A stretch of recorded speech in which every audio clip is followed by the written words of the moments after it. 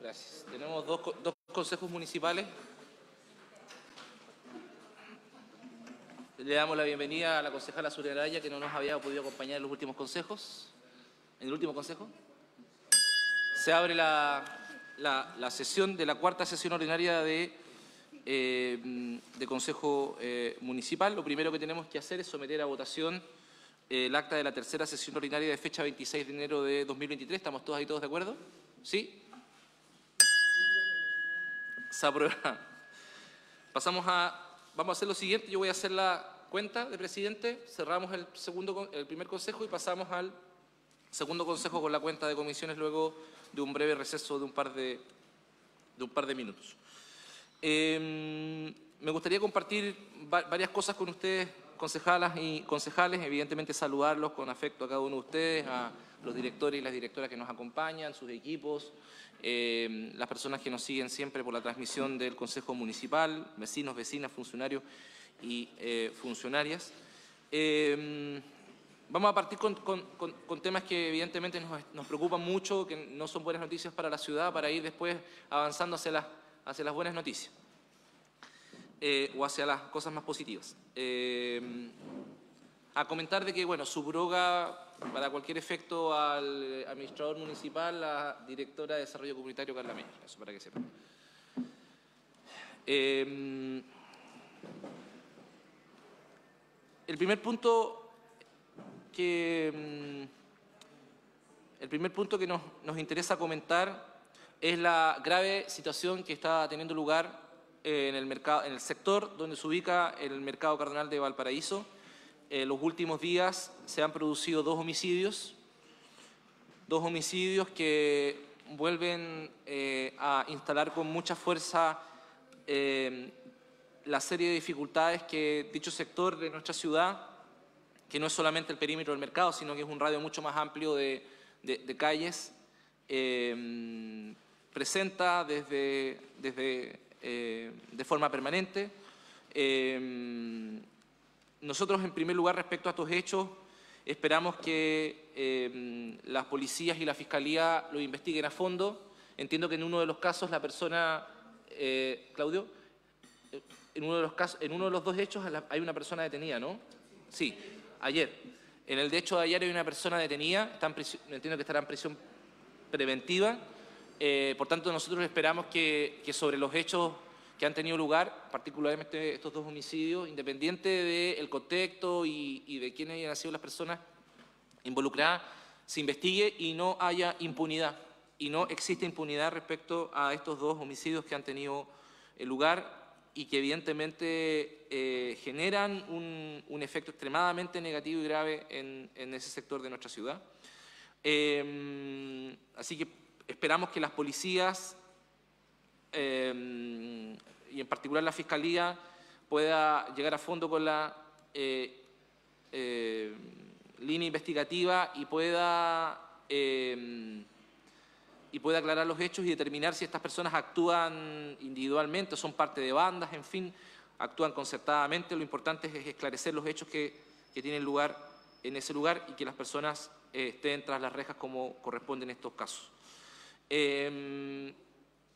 Claramente, desde, desde, eh, desde el municipio de Valparaíso queremos, eh, y por eso me parece importante plantear este tema en cuenta, eh, manifestar nuestra más clara, más profunda preocupación por lo que sucede, porque quería aprovechar también a contar un poco que, se han hecho una serie de acciones y una serie, y una serie de, intervenciones, pero que claramente han sido insuficientes y que por tanto nosotros pensamos que se requiere un nivel de intervención mucho mayor. un nivel de intervención mucho mayor porque la, situación guarda relación con problemas urbanos que se producen, problemas de ordenamiento del espacio público, problemas sociales, problemas de empleo, eh, problemas vinculados a eh, las relaciones que se producen entre el mercado puerto como, como mercado privado y el espacio público, eh, la falta de presencia policial, la ausencia de una política integral para poder recuperar dicho lugar, en fin, son varias, las dimensiones que eh, dependiendo del tiempo, se agudizan más, se agudizan menos. Hoy día, evidentemente, la situación es muy grave por, los hechos eh, a los que hago eh, mención y, eso y, por tanto es una situación a la que hay que ponerle definitivo atajo. Contarles un poco también lo que como municipio de Valparaíso hemos estado realizando en ese sector de la ciudad, porque muchas veces se cree que, que no se está haciendo nada y sí hay varias acciones que se están realizando, pero que como comentaba, no permiten eh, revertir la situación que se está viviendo en ese sector. Eh, en primer lugar, estamos avanzando en el rediseño de dos arterias vinculadas a ese sector de la ciudad, que es la avenida Uruguay y la avenida Brasil. Hay dos proyectos de diseño. En el caso de la avenida Uruguay, el proyecto de diseño de la avenida Uruguay partió hace pocos días. En el caso de la avenida Brasil, el proyecto de diseño de la avenida Brasil está terminando. Está en fase de término para posteriormente pasar a fase de postulación de recursos ante el gobierno regional. Em, desde la dirección eso desde la dirección de la CEPLAC se está trabajando en el rediseño urbano de esas arterias, que va a, evidentemente a permitir eh, un cambio eh, que puede ser beneficioso para el ordenamiento y, la producción de seguridad en ese lugar. En segundo lugar, comentar también que hemos estado realizando de forma permanente eh, un conjunto de operativos para las personas en situación calle que, se produce, que, se, que, pernoctan en ese, en ese lugar. Esos operativos en situación calle los ha sostenido casi exclusivamente la Dirección de Desarrollo Comunitario con organizaciones vinculadas a eh, este, estas temáticas en conjunto a la, en conjunto a la dirección, eh, a la dirección de, operaciones y en particular el departamento de, aseo. Eh, el municipio de Valparaíso realiza permanentemente acciones de retiro de, de, voluminosos. Prontamente hay otra acción ya agendada por la Dirección de Operaciones para efectuar el retiro de, los voluminosos que se producen en toda la arteria de la calle Uruguay y las calles aledañas al mercado Cardonal. Em, la Dirección de Seguridad Ciudadana que, encabeza Claudio Paso realizan en el lugar fiscalizaciones permanentes, el, número de partes que se, se, eh, emiten eh, son cuantiosos en dicho eh, lugar. Una buena noticia que no ha tenido la repercusión que nos gustaría, que, gracias a un, a un, aporte económico que produjo el municipio de Valparaíso, que fue un, una subvención. a pasaje de a través de una subvención que este Consejo Municipal aprobó, junto a los comerciantes del pasaje Talcahuano, se produjo un proceso de recuperación del pasaje Talcahuano que quedó bastante bien. Ellos están muy contentos, los comerciantes que están en, dicho lugar. Hemos mantenido también una conversación permanente con las nuevas autoridades del mercado cardinal, que cambian cada cierto tiempo. Hoy día hay una, nueva, hay una presidenta del comité de administración. Eh, además, también eh, cerca del sector, no derechamente en el sector, pero es parte del radio, de influencia del mercado cardonal. En el Nuevo Barón ustedes bien saben que el municipio del Paraíso está ejecutando junto a la organización Mural Parlante una intervención completa del Nuevo Barón donde se produce basura, personas en situación calle, donde se generan rucos, donde se genera una situación de eh, inseguridad e insalubridad que ya no existe en ese lugar. El día de ayer, junto a la directora Carla Meyer, le dimos el, Vamos a Vive la Plaza, que es básicamente un programa de ocupación deportiva de la Plaza O'Higgins. Nos acompañó la concejala Gilda Llorente, presidenta de la Comisión de Deportes. Eh, vamos a estar con actividades lunes, jueves y viernes, en, lunes, miércoles y jueves en la Plaza O'Higgins, Zumba, eh, defensa personal y otras actividades que están a disposición de, forma gratuita por parte de la comunidad. La Plaza O'Higgins, y lo, lo digo yo, salvo los domingos, se mantiene ordenada y despejada. Eh, entonces, hay un, ¿qué quiero decir? Que, que ha habido ocho o nueve acciones que el municipio ha realizado y que vamos a seguir realizando de forma permanente en ese sector para abordar las problemáticas de ese sector. No estamos de brazos cruzados. Pero sí reconozco o reconocemos en el municipio que lo que hace el municipio por su cuenta, que es mucho, que es harto, que, que supone un esfuerzo institucional importante, no es suficiente. Y la última semana da cuenta de que claramente no es suficiente y la situación en la que se encuentra el espacio público da cuenta que evidentemente no es suficiente. Entonces, yo aquí les planteo esto no para poder apuntar con el dedo a ninguna institución y decir tal no hace tal cosa, tal no hace tal cosa. Porque eso, para efectos de abordar la problemática que tenemos en el mercado cardonal, no sirve de nada. No sirve de nada, o sirve de muy poco. Y la gente no quiere que las autoridades o las instituciones se recriminen, sino que las instituciones actúen articuladamente para poder abordar las problemáticas y las dificultades que tienen territorios determinados y, sectores de la ciudad, como es el mercado cardonal. Eh, el balance de lo que ha hecho la delegación, carabineros, lo tendrán que presentar a la ciudadanía ellos en las instancias, que, corresponden. Yo les comento lo que nosotros hemos hecho y que vamos a seguir haciendo, pero que consideramos que claramente, como he dicho, es insuficiente. Entonces, digo esto porque tenemos que pensar en algo superior a lo que en definitiva hemos estado realizando como municipio y tenemos que buscar como municipio la manera de involucrar a todas las actorías que hay en, ese sector, sean públicas, pero también hay actorías comunitarias, comerciales, hay organizaciones sociales que se preocupan de, por ejemplo, migrantes, situación calle, que intervienen en ese sector, que podamos articular nuestros esfuerzos, podamos articular la fuerza que cada quien tiene, desde carabineros hasta las ONG migrantes, desde la delegación hasta la Policía de Investigaciones que tiene un cuartel ahí mismo, al frente de la calle del Mercado Cardonal desde el municipio de Valparaíso hasta los locatarios del pasaje Talcahuano, la Asociación Gremial Alvendral, em, las organizaciones muralistas, que, han, hay mucha gente interviniendo en ese sector. Entonces, ese esfuerzo de intervención que es muy grande, hay que intentar articularlo para que no sea disperso. Porque aquí se requiere orden del espacio público, claro que sí, pero también espacio y oportunidades laborales para aquellos que trabajan en ese sector. Hay cuatro sindicatos fuera del mercado cardonal que agrupan a 200 personas. Están organizados ellos. Organizados ellos, no organizado el espacio público, claramente.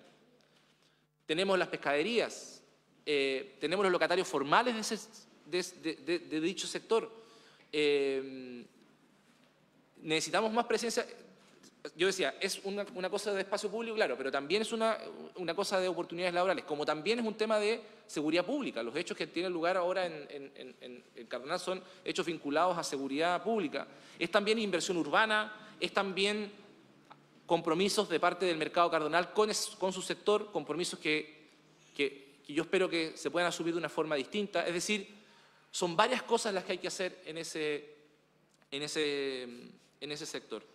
Nosotros vamos a seguir haciendo esto durante todo febrero, vamos a seguir interviniendo, vamos a intentar aumentar nuestra, nuestra capacidad de intervención en el mercado cardonal a partir de estas ocho acciones que les comento. Las vuelvo a repetir, el diseño de la, calle Uruguay y la avenida Brasil, los operativos de situación calle, los operativos de retiro voluminoso, la recuperación del pasaje talcahuano, la fiscalización permanente que hace la Dirección de Seguridad, la conversación con los locatarios del mercado cardonal para que ellos asuman compromisos de respeto al espacio y de cuidado del espacio público.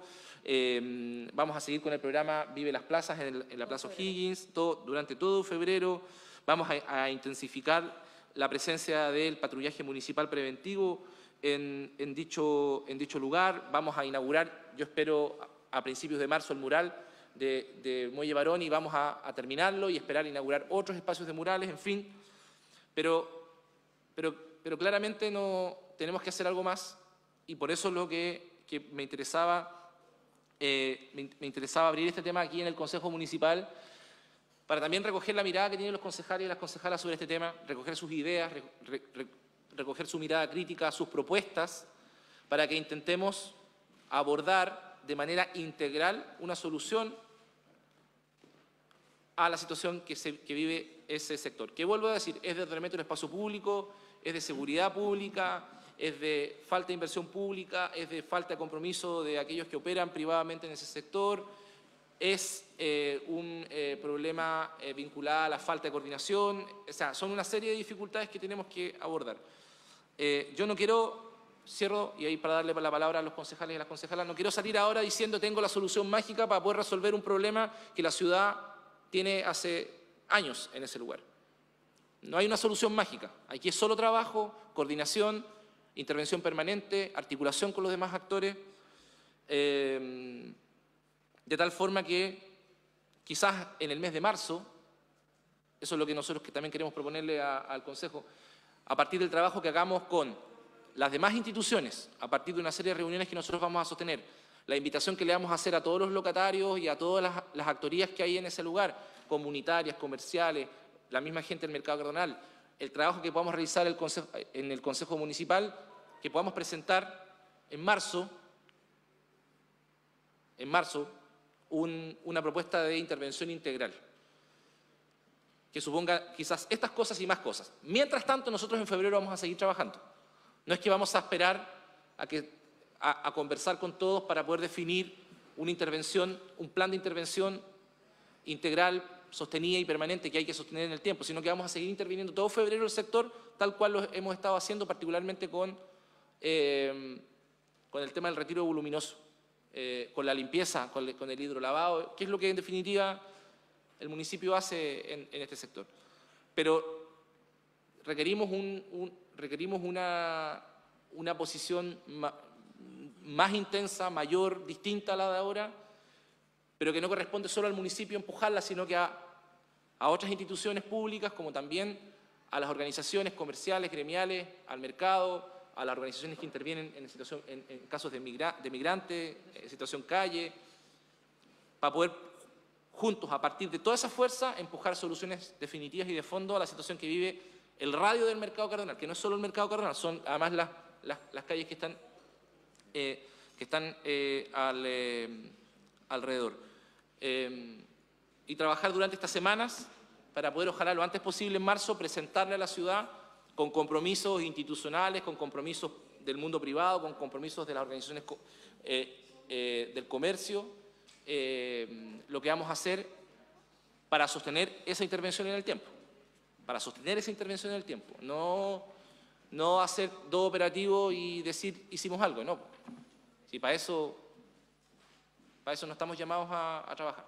Entonces, esa es un poco la preocupación que nosotros tenemos, es como los cursos de acción que hemos definido que pueden abordar la contingencia y el problema de fondo. Y evidentemente queremos que, el Consejo también desde su mirada, los concejales y las concejalas puedan contribuir también con su punto de vista, con sus ideas, con su propuesta, a lo que tengamos que hacer en el, en el mercado, eh, en el sector del mercado cardenal, eh, la gente nos pide que podamos resolver definitivamente ese problema. No es fácil, pero creo que si, si se trabaja, si todas estas fuerzas trabajan de forma coordinada, eh, vamos a poder tener resultados en el cortísimo plazo. Entrego, brindo la palabra a quienes quieran intervenir. Concejala Araya. Zuliana. Buenos días, concejales, concejalas, directores, el presidente y la gente los, los ve. Les pido disculpas porque sobre todo lo que está pasando en Valparaíso, que hay incendios. Mire, este, en mes estamos apaciguando con los incendios que pasa en Valparaíso. Pero voy a referirme del mercado donar. Yo creo que la municipalidad y la gobernador, el gobernador o la, ¿cómo se llama?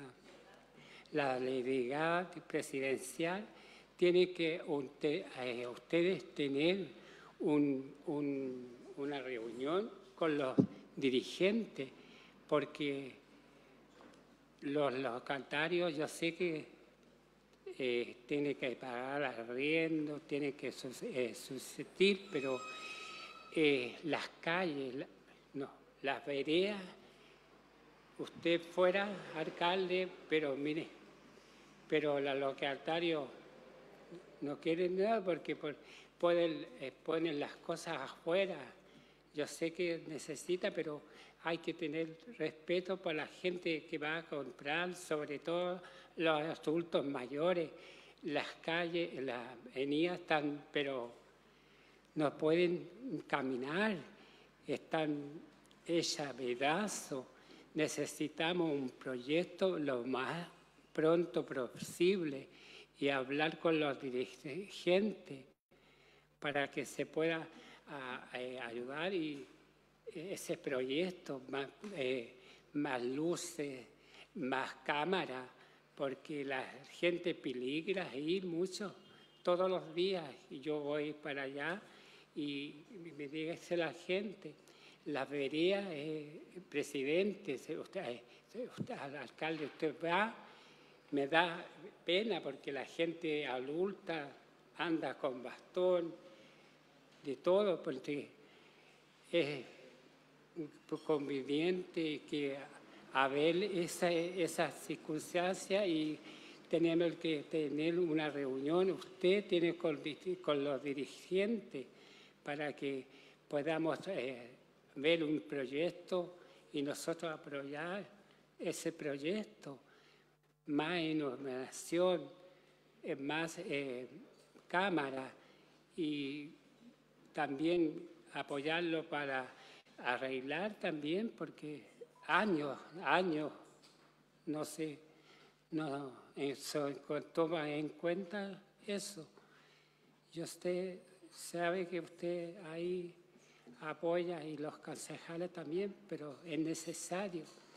Y los otros de los camiones ya se, tomaron la calle todos los días, el eh, alcalde, vienen ahí, ensucian. Yo he dicho a ustedes y he hablado con la gente de ahí y que quieren un lugar donde sanearse y pagar, porque le hace mal a la, a la gente también. Eh, tiene tiene, hay que estacionar los autos también, mire. Como eh, me gustaría que, que fuera igual que eh, acá en Conde poner reja ahí para que la gente pueda estar tranquila. Y lo otro que quería saber también, eh, disculpe, presidente, si usted lo va a hablar, los incendios. Eh, yo no, no, no he estado ahí porque he estado enferma, pero siempre estoy con los ponteños y ponteñas, pero tengo que pensar en mi salud porque su lealismo queda para años más. Así que gracias, presidente. El tema de los incendios lo vamos a tratar en el segundo punto de la cuenta presidente. Les vamos a hacer un informe respecto a todos los incendios que han tenido lugar en la ciudad en los últimos, en los últimos días. Eh, concejal Iturrieta.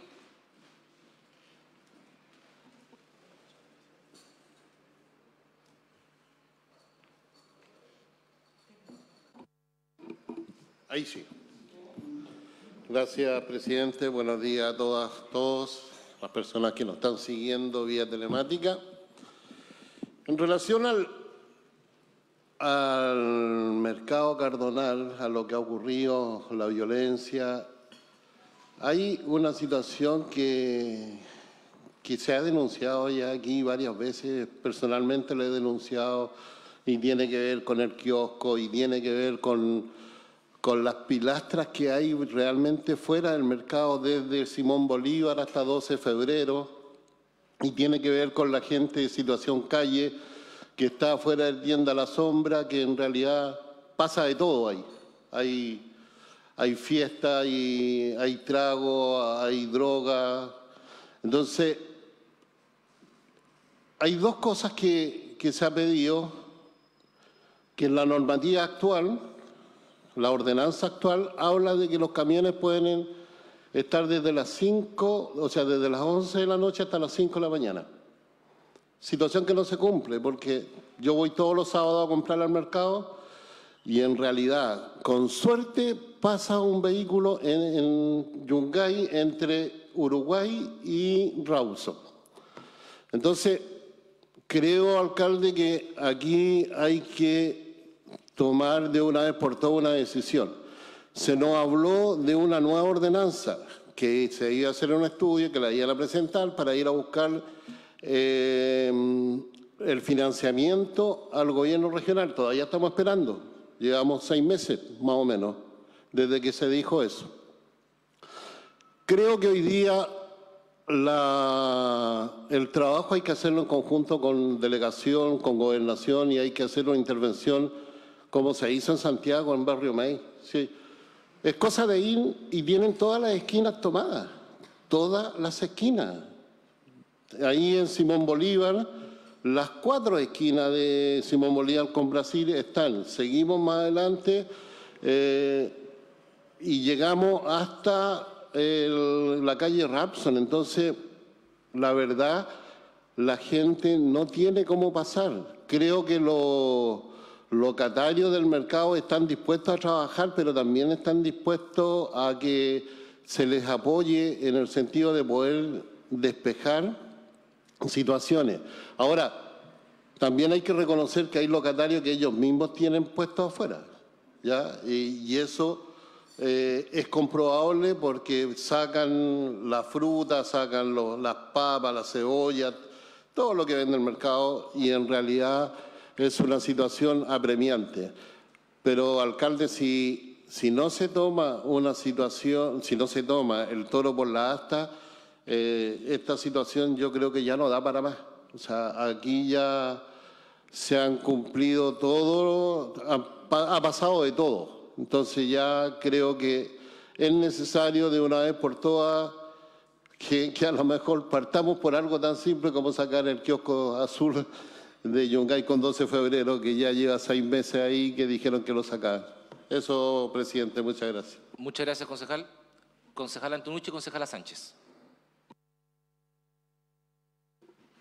Gracias, presidente. Buenos días a todos los presentes, a quienes nos, a quienes nos siguen por redes sociales.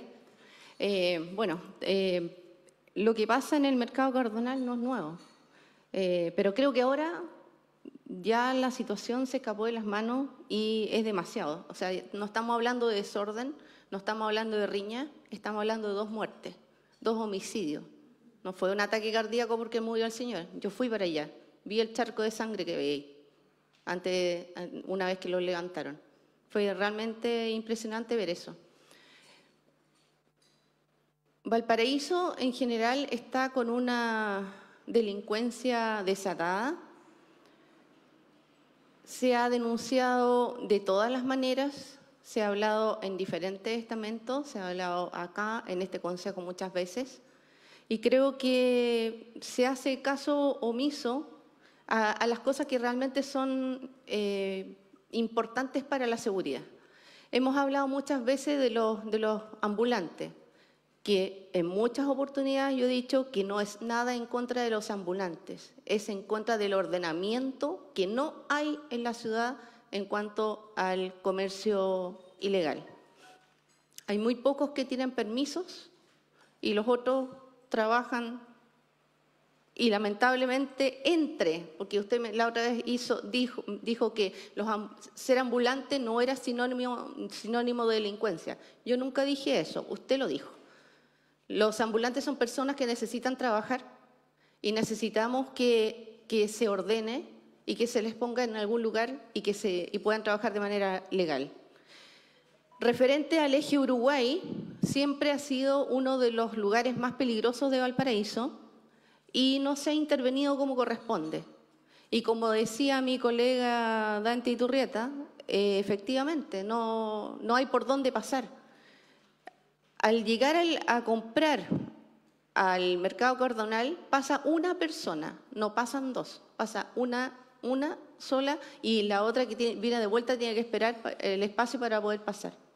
Por lo tanto, se necesita un ordenamiento real. Es lo que yo le pido, presidente, un ordenamiento del comercio ilegal de Valparaíso y una intervención mayor, mayor en lo que se refiere a seguridad, ya que yo estuve en ese lugar y no, hubo, no había nadie de la municipalidad y tampoco había ni un móvil de seguridad ciudadana que se supone que deberían estar patrullando. No había nadie. Y luego caminé desde Uruguay hasta Prat y no vi ni un solo móvil, ni uno solo. ¿Dónde están? Quisiera saberlo. Gracias, presidente. Concejala Carla Sánchez.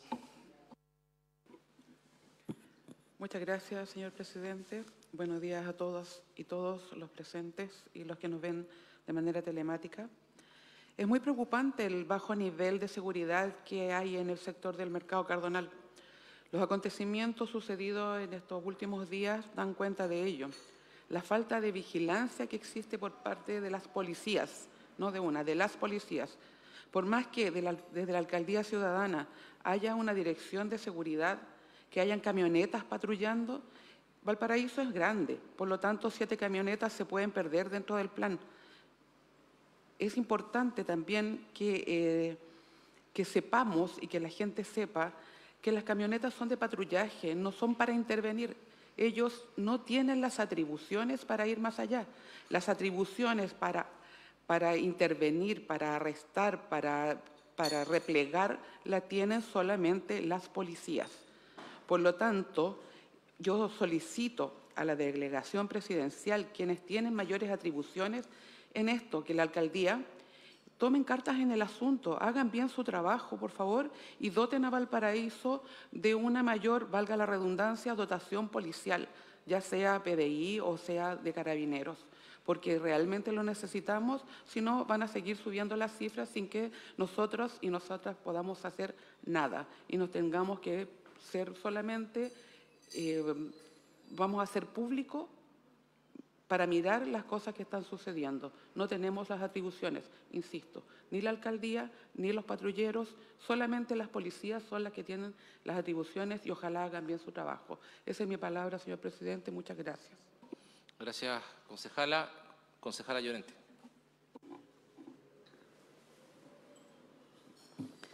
Buenos días a todas, a todos los presentes y también a quienes nos están siguiendo por las redes. Em, este es un tema muy interesante y creo que es importante, me, entusiasma de poder ir por sectores. Sabemos que hay varios sectores complicados en Valparaíso con diferentes temas. Em, también hay causas por qué se ha, llegado a eso, pero eh, creo que eh, lo importante de esto es partir. Y, y yo creo que la crítica a esta altura ya de que, si se hizo, no se hizo, quién lo hizo, yo creo que ya no, no, no corre. O sea, creo que esto se ha puesto ahora en la mesa como para poder avanzar en las mejoras que tenemos que hacer. No, no, creo que hay que, hay que eh, integrar la gente del mercado, la, a lo mejor los vecinos del mercado, no sé si hay algunas juntas de vecinos ahí, eh, la policía, o sea, integrar todo lo que se pueda, con lo que se pueda avanzar y ordenar. Y lo que sí hay que ser em, permanente en el tiempo, ¿ya? Porque de repente, como pasó con la Plaza Aníbal Pinto, se ordenó la Plaza Aníbal Pinto, se sacó la gente de ahí, pero se dejó de, de, de cuidar eso y se llenó de nuevo. Entonces, creo que hay que tener un espacio de tiempo largo para poder cambiar las conductas, la cultura que hoy día hay de...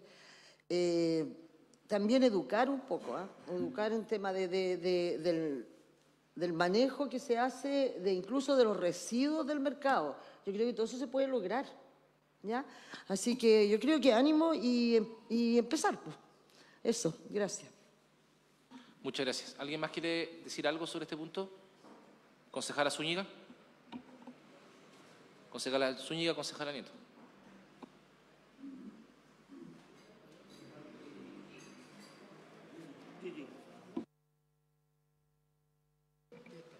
Ahí sí, ahí sí, ahí sí, ahí sí, no, quería. Buenos días, eh, presidente, a los directores presentes, concejalas, concejales, al público asistente también, invitados, eh, y por cierto a quienes siguen esta transmisión.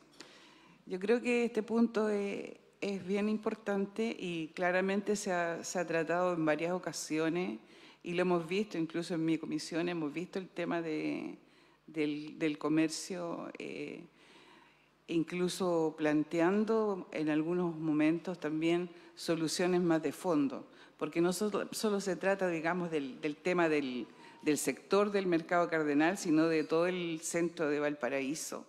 Y de qué manera también eh, eh, establecemos una línea divisoria entre, entre quienes ejercen comercio autorizado, callejero, y quienes también en cierta forma transgreden y, y no son suficientemente sancionados.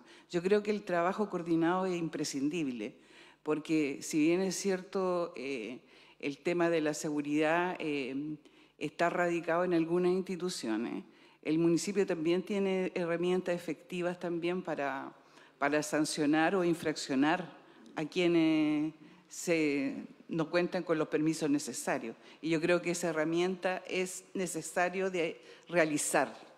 Es decir, eh, es una forma, eh, porque por cierto, aquí cada cual tiene sus roles y sus atribuciones, pero la, herramienta del municipio tiene que ver con justamente concursar los partes y hacerlo efectivo para lograr que, quienes están en ese, en ese sector y transgreden eh, la ordenanza al respecto puedan ser infraccionados. Creo que esa es una, herramienta, como también la responsabilidad que le escupe a quienes son locatarios del, mercado y a quienes están eh, organizados en, agrupaciones de, comerciantes, porque indudablemente aquí no basta con, la labor, tiene que ser una labor conjunta, no basta la labor de una institución. y por cierto, también creo que es un proceso. Em, yo estoy porque efectivamente se pueda concretar pronto, porque lo que nosotros estábamos esperando era este estudio que se encargaba para, para poder ver el tema del comercio en Valparaíso. Y a propósito de esto ir también señalando eh, caminos, nuevos derroteros para, para, poder transitar y creo que eso hay que hacerlo a la, a la brevedad. Pero como se requiere soluciones, digamos, ahora, perentoria, yo creo que efectivamente ahí hay que, hay que hacer una labor conjunta con las policías, con la, con, con la delegación presidencial, con, con, la gobernación y el municipio con, con todo lo que cabe allí para, poder eh, hacer un trabajo que, permita ordenar ese sector, porque la verdad es que para, para quienes concurren a comprar eh, es tremendamente complejo porque no pueden transitar, pero además se convierte en un verdadero pasadizo en donde pueden ser asaltados a cada rato. Eh, y porque Em, yo no creo que los comerciantes, por ser comerciantes, sean delincuentes en absoluto, pero claramente también allí hay, hay sectores y, pululan sectores que están a la expectativa y buscan la oportunidad para también delinquir. Y, eh, en ese sentido no, no podemos tampoco nosotros eh, cerrar los, ojos y hacer la vista gorda de, lo, que, de lo que sucede. Eh, creo que es lamentable yo no creo que la delincuencia, porque yo soy bastante contraria a eso, por lo menos creo que tengo más hartos años de experiencia, tengo años de experiencia en la vida, entonces no creo que los niveles de, de, inseguridad hayan aumentado tanto como, como algunos se, se dice por allí. Eh, creo que delincuencia siempre ha existido en el sector de Uruguay, siempre ha habido bastante y ha habido crimen en muchas ocasiones eh, eso no significa que, nosotros no abordemos el, tema y, lo, busquemos la solución, por cierto. Pero, pero tampoco buscaría una, eh, creo que no corresponde una mirada así tan eh, negativa de, lo que, de lo que sucede. Me parece que es importante también hacer que los vecinos asuman. Y en ese sentido creo que también hay un trabajo que realizar porque efectivamente en ese sector la Junta de Vecinos no está vigente. Y hay vecinos, pues sí existe hasta los, departamentos, los edificios que están ahí, ahí cerca. Entonces no hay ni siquiera vecinos organizados y creo que es relevante también que eso, porque barrio seguro significa también y es sinónimo de comunidad organizada, porque la comunidad organizada le frena, frena siempre a la delincuencia. Eso es una, realidad histórica. Así que creo que eso es un camino a, seguir. Muchas gracias, presidente. Presidente. Muy buenos días a todos y todas. Eh, solamente me gustaría como complementar eh, que considero que el tema de seguridad tiene distintas aristas, y esto ya lo hemos hablado varias veces en este Consejo Municipal, pero quiero ir a algo bien práctico. Eh, específicamente en Uruguay y en todo ese eje, es cierto, históricamente ha existido mucha delincuencia y también es cierto que quienes ostentan este monopolio del uso de la fuerza son las policías y por tanto las policías tienen que estar presentes tienen que tener una planificación en torno o un plan de intervención respecto de ciertos barrios que son estratégicos, donde han ocurrido mayores eh, hechos ilícitos que han ocasionado inclusive la muerte. Y para eso también es cierto que la delegación juega un rol importante porque es quien precisamente lleva a cabo y se relaciona con las policías en este ejercicio. Pero ¿por qué digo que lo voy a llevar a algo concreto? Porque también hay otras aristas de seguridad que tiene que ver con sensación, que tiene también que ver con contextos, y ahí yo creo que el municipio juega un rol fundamental. Cuando, y, a qué me refiero? Es que acá sí tenemos responsabilidad. O sea, ¿qué orden estamos dando al eje Uruguay? ¿Qué planificación del comercio o de las personas que trabajan en la, en la vía pública se está dando no solo para Uruguay, para la ciudad de Valparaíso? Y son elementos que en la práctica van generando ciertos escenarios que aumentan a veces la sensación de inseguridad por parte de las personas que caminamos por Valparaíso o también muchas veces se materializa o eh, se dan los contextos como lo que acabamos de ver, que son dos homicidios que a mí me parecen sumamente, obviamente, y creo que aquí todos concordamos grave. Entonces, si bien hay un tema de que tienen que existir más policías, y creo que además el municipio ha... Eh, ha tratado de, ir eh, con medidas concretas aumentando esta sensación de seguridad con las patrullas, es totalmente insuficiente si no hay un orden, si no hay una planificación, si no hay un sentido de espacio público en ese lugar, si no hay un trabajo como participativo para generar un ordenamiento. Tiene que ver con cosas tan simples como cuán iluminada está la calle, cuán limpia está el espacio luego que se cierran todos los puestos de trabajo ya se hablaba del retiro voluminoso. Yo recuerdo como ciudadana que transitaba por Rawson cuando en el 2017, entre la gestión de la alcaldía, efectivamente se notó la diferencia en cuanto a la limpieza. Pero no, yo voy a ser sincera, no he vuelto a notar esa diferencia. Y acá, eh, ya lo comentó la concejala Alicia, porque esto se vio en su comisión, yo tengo la sensación de que hay un trabajo muy silencioso respecto del tema del uso del espacio público para fines comerciales. O sea, el comercio ambulante, el comercio callejero, creo que hay una ausencia o un trabajo extremadamente silencioso de qué es lo que se está haciendo para generar esa planificación. Ya llevamos un año y medio más de gestión.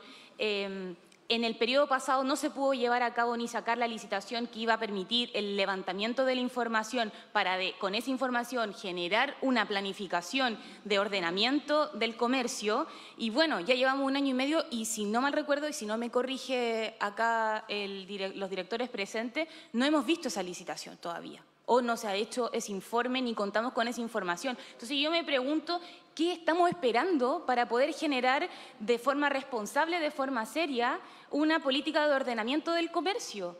Porque mientras se genere la ausencia, o no ausencia, sino que el mantener el status quo, el mantener lo que se ha venido haciendo históricamente en Valparaíso, nos tiene como hoy día nos tiene, donde yo veo migrantes trabajando y vendiendo todos exactamente lo mismo, lo que a mí me puede dar a entender de que hay una persona atrás manejando situaciones de extrema vulnerabilidad, veo a niños y niñas, sobre todo ahora en vacaciones, vendiendo en las calles y un sinfín de otras cosas que obviamente generan un contexto que se da para generar eh, inseguridad y hechos delictivos. Entonces, de verdad yo acá voy a hacer como, creo que es importante avanzar pronto. Obviamente reconozco las medidas que se han ido abordando, como los retiros de los voluminosos, pero falta mucho por hacer. Entonces, si bien es necesario instar a los espacios de coordinación, que son los que tienen el monopolio de las policías, también hay mucho que hacer desde el punto de vista municipal. Y acá tiene un consejo municipal que está abierto a sacar lo antes posible tanto la licitación como el estudio para generar la ordenanza que nos permita una planificación del bien común o bien de uso público, que es la calle, que nos pertenece a todos y todas. Gracias, presidente. Gracias, concejal Valenzuela. Buenos días, presidente. Buenos días a las y dos concejales presentes, directores, funcionarios, porteñas y porteños que nos ven por las redes. Em, efectivamente, el tema cardonal, el barrio, el sector, a mi entender, obedece también a, a que muchas veces em, las políticas públicas en temas de seguridad, en temas de atribuciones, eh, quedan, quedan estrechas, quedan cortas. Si es que no, nacen desde las propias comunidades, de las propias agrupaciones, de los propios vecinos, en forma en que se habita los barrios, en forma en que se habita este sector en particular. Eh, ¿Es preocupante que no exista junta de vecinos? Evidentemente que sí. Es preocupante que, uno asocia a Uruguay y asocia a que cuando uno va al banco Estado tiene que ponerse la billetera en el bolsillo de adelante, eh, que uno hace habitualmente, casi, casi en forma de inercia. Eh, es preocupante que, que lo que está reflejando ahí es que existe una línea invisible entre lo público y lo privado, donde lo público es atribución de instituciones públicas, como el municipio y otras otra instancias, y lo privado queda ahí también eh, con poca actitud propositiva respecto a cómo, a cómo ver eh, Uruguay, Cardonal y todo el sector. Creo que hay que tener esta mirada integral, comparto esta mirada de que tiene que ser una mirada multisectorial, integral, convocante, propositiva, em, y donde el espacio público no se puede, eh, eh, tiene que estar constantemente vivo. Hay que recuperar el espacio público, hay que recuperar, hay una, hay una, hay una frase que está diciendo más seguridad, más comunidad. Evidentemente comparto esa iniciativa sin, comunidad activa, sin ocupación de los espacios. Por eso es tan importante la recuperación de la Plaza O'Higgins. Por eso es tan importante que existan los diseños para Uruguay y Avenida Brasil. Por eso es tan importante que existan más cámaras de seguridad, más luminarias. Como también es importante que la presencia policial en Uruguay sea permanente, no sea esporádica, no sea una excepción. Yo lo que no veo, y lo digo muy responsablemente, lo que yo no veo son calle Vinedo ni la PDI. Yo lo que he visto son las patrullas municipales. No sé, no sé por dónde camina la concejala Antonucci, pero uno transita constantemente por la ciudad. No, también vivo. Pero no estoy respondiendo a usted, estoy diciendo. Le eh, eh, pido, por favor, le pido por favor que podamos cada uno intervenir acorde a la a cada uno de los espacios que tenemos. ¿Ya? ¿Cómo andaba con gente? gente la vista ahí?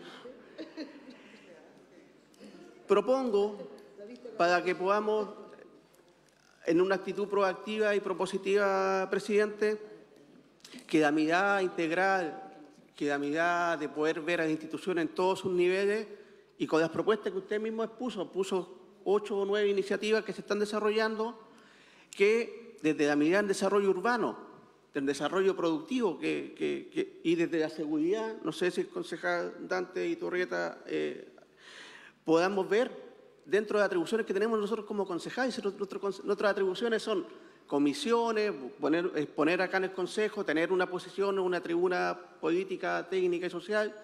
Eh, para mí es un tema social y un tema económico, la situación que está pasando en Cardonal, es una situación de cómo se construyen las ciudades, eh, o cómo se desconstruyen, para decirlo de una forma, como en una ciudad, eh, quizás me voy a ir a otro tema, pero tiene que ver con las ciudades neoliberales, donde el, orden público o el privado no acepta que, el Estado o, en este, o los municipios tengan atribuciones de ingerir en la ocupación del, espacio privado. Eh, pero sí hay iniciativas que se están desarrollando. Y esa iniciativa tiene, eh, evidentemente están dentro y orientada hacia un plan 2023.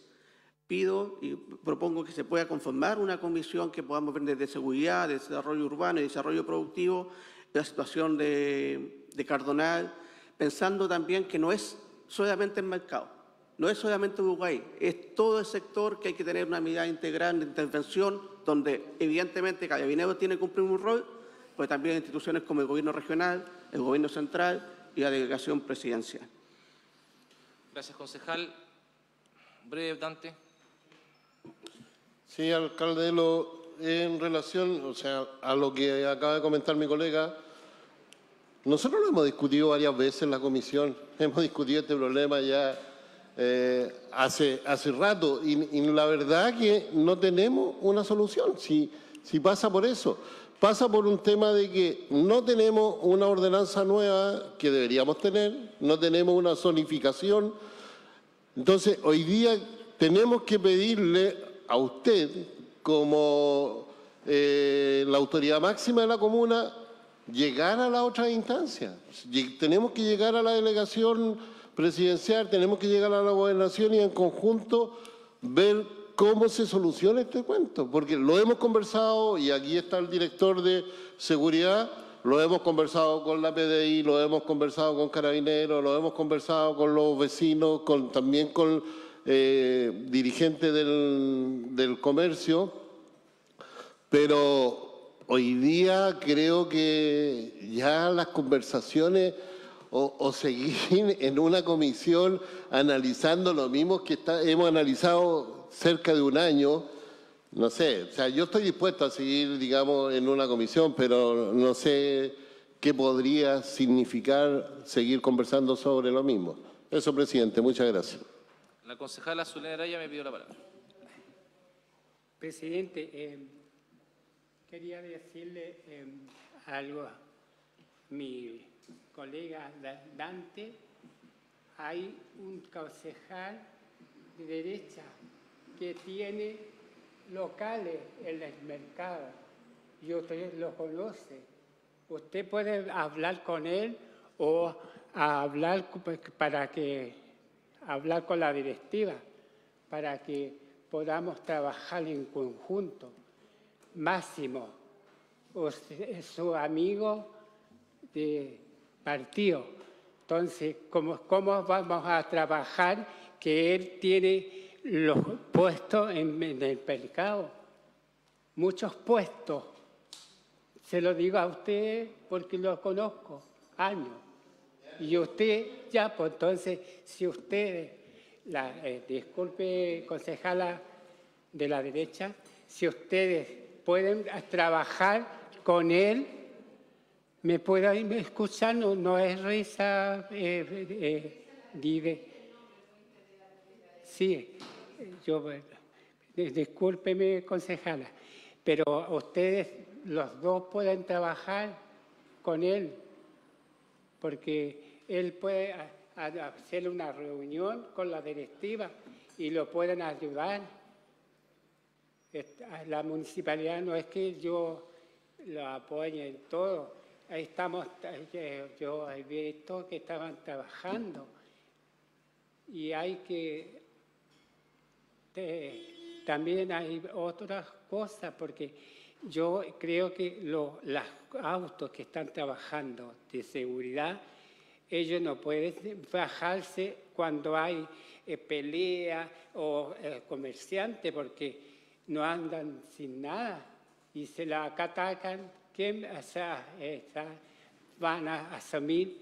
Tiene que, los carabineros tienen que estar ahí, sobre todo los carabineros que estaban en el grande, esos que están en el Congreso, ¿cómo se llama este carabinero? ¿Ah? ¿Ah? No, afuera. ¿Zulena? En los carabineros que están afuera. Eh, ¿De dónde? ¿Del Congreso? Claro. ¿Ya? Como los guardias. Que, no, no. No, los carabineros que tienen, que tienen carro afuera. Ah, El golpe, disculpe. Pero ellos están todos los días en, el, el mercado y no hacen nada entonces, ¿de qué estamos hablando? ¿Y qué, vamos a decir que ellos no hacen nada? Necesitábamos carabineros que hagan de, todo. No va a pararse ahí no tan mal el desayuno adentro y no te tiene que vigilar hacer los trabajos que te hacen. Muchas gracias. Vamos a cerrar este tema porque tenemos que seguir avanzando con el Consejo. Eh, yo creo que, que ninguna de las medidas que ustedes sugieren en, en este Consejo sobra, todas son, pueden contribuir a una solución integral, ninguna por sí sola es la solución mágica, ni que se actualice una ordenanza, ni que se haga un operativo más o un operativo menos, va a resolver el problema de fondo si es que no hay una mirada que suponga el compromiso de intervención integral de todas las instituciones que intervienen en lo público. Miren, lo fácil para mí sería en este momento decir, Carabineros no hace esto, no hace esto otro, la delegación aquí, la, delegación allá, el gobernador esto. De verdad no tiene ningún sentido, cero sentido. Eh, Zuliana habla de la red de intereses que hay en ese sector. Hay, es un sector con muchos intereses cruzados. Entonces, no es un sector que uno diga, vamos a hacer esto, no, y se va a resolver de un momento a otro. Eh, se requiere seriedad, creo yo, y lo más importante, constancia y permanencia en el tiempo. De lo contrario, mire, les cuento, el viernes va a haber otro operativo de situación calle. Vamos a ir nuevamente a hacer un operativo de situación calle. Y vamos a estar todos los días haciendo cosas, porque no queremos soltar el sector, no lo, independiente de lo que pasó. Pero eso no va a revertir la situación si es que no hay un cambio de paradigma. Y el cambio de paradigma no puede ser solamente presencia policial. Sin duda presencia policial, sin duda. Y ahí cada quien saca su juicio a propósito del debate que tenía la concejala Antonucci Valenzuela, qué tan presentes no pueden estar las policías en ese sector. Yo no quiero entrar a discutir eso porque de hecho quiero trabajar con las policías para que las cosas resulten. Pero también hay otras soluciones que tienen que ver con lo comunitario, con lo comercial, con el compromiso de los locatarios del mercado puerto, con el diálogo con los sindicatos que están organizados ahí, que también es parte de esto. Entonces, a mí no me parece mal lo que señala el concejal Valenzuela de que se pueda formar una comisión de seguridad, o sea, como una especie de comisión mixta de, de seguridad, desarrollo urbano, incluiría, si la concejala está de acuerdo, desarrollo social, para tener una mirada más integral y no solamente respecto a un solo punto respecto al tema de la seguridad y que esa sea la comisión en la que podamos, por ejemplo, trabajar. Nosotros, como les decía, lo vuelvo a señalar con más claridad ahora quizás, vamos a trabajar durante todas estas semanas, durante todo febrero, para poder presentarle al marzo, en marzo, eh, a partir, eso va a ser un trabajo que va a suponer la conversación y el diálogo bilateral con, con todas las instituciones y organizaciones que se puedan imaginar que intervienen en el territorio, para poder llegar a presentar una propuesta integral que suponga el compromiso y el involucramiento de todas y de todos y que eso tenga plazos, recursos, eh, tenga eh, obligaciones, que esté muy claro qué es lo que le corresponde hacer al municipio, qué es lo que le corresponde hacer a las policías, qué es lo que le corresponde hacer a... Eh, etcétera. Creo que tenemos que aprovechar el vuelo que existe a propósito de esto que, que a nivel de gobierno nacional se llama el Acuerdo Nacional de Seguridad o las propuestas nacionales de seguridad, eh, y ojalá que eso tenga una bajada a lo, a lo local, sería excelente, eh, de tal forma de que podamos abordar, insisto, de manera, eh, de manera integral este, los delitos que se producen ahí, la falta de ordenamiento del espacio público, la falta de oportunidades, los problemas, en fin. Porque, por ejemplo, yo no lo comentaba, pero en ese sector hay cámaras de seguridad. Hay cámaras de seguridad. Y de hecho la cámara 360 tenemos. Esa es una inversión que hizo el municipio. Entonces, eso no había, no, había pasado antes. Lo estamos haciendo nosotros. Eh, entonces, a mí me parece que todo lo que han dicho ustedes puede, puede ayudar. Y, si los concejales están de acuerdo de empujar un espacio de esas características, que, nos pueda también ir, ir ayudando a recoger las opiniones de las eh, actorías, de las instituciones que están en el territorio, se puede invitar a carabineros, se puede invitar a la delegación, se puede invitar a, las locatarias, a la presidenta del Mercado Cardonal, se puede invitar, en fin, a, los locatarios de Uruguay, para poder construir una... Y ojo, hay dos cosas que están andando, que son de fondo.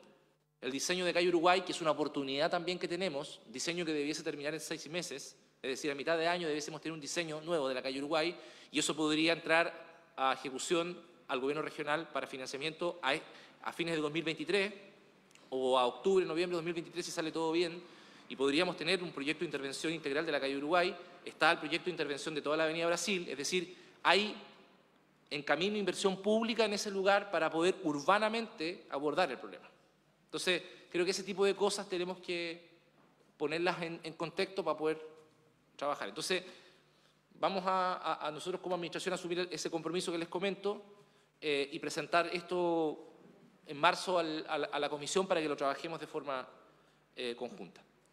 Quería ahora cerrar ese punto y darle la palabra a la directora de Desarrollo Comunitario, Carla Meyer, porque nos interesa hacerles un balance sobre los diversos incendios estructurales que han tenido lugar en la ciudad.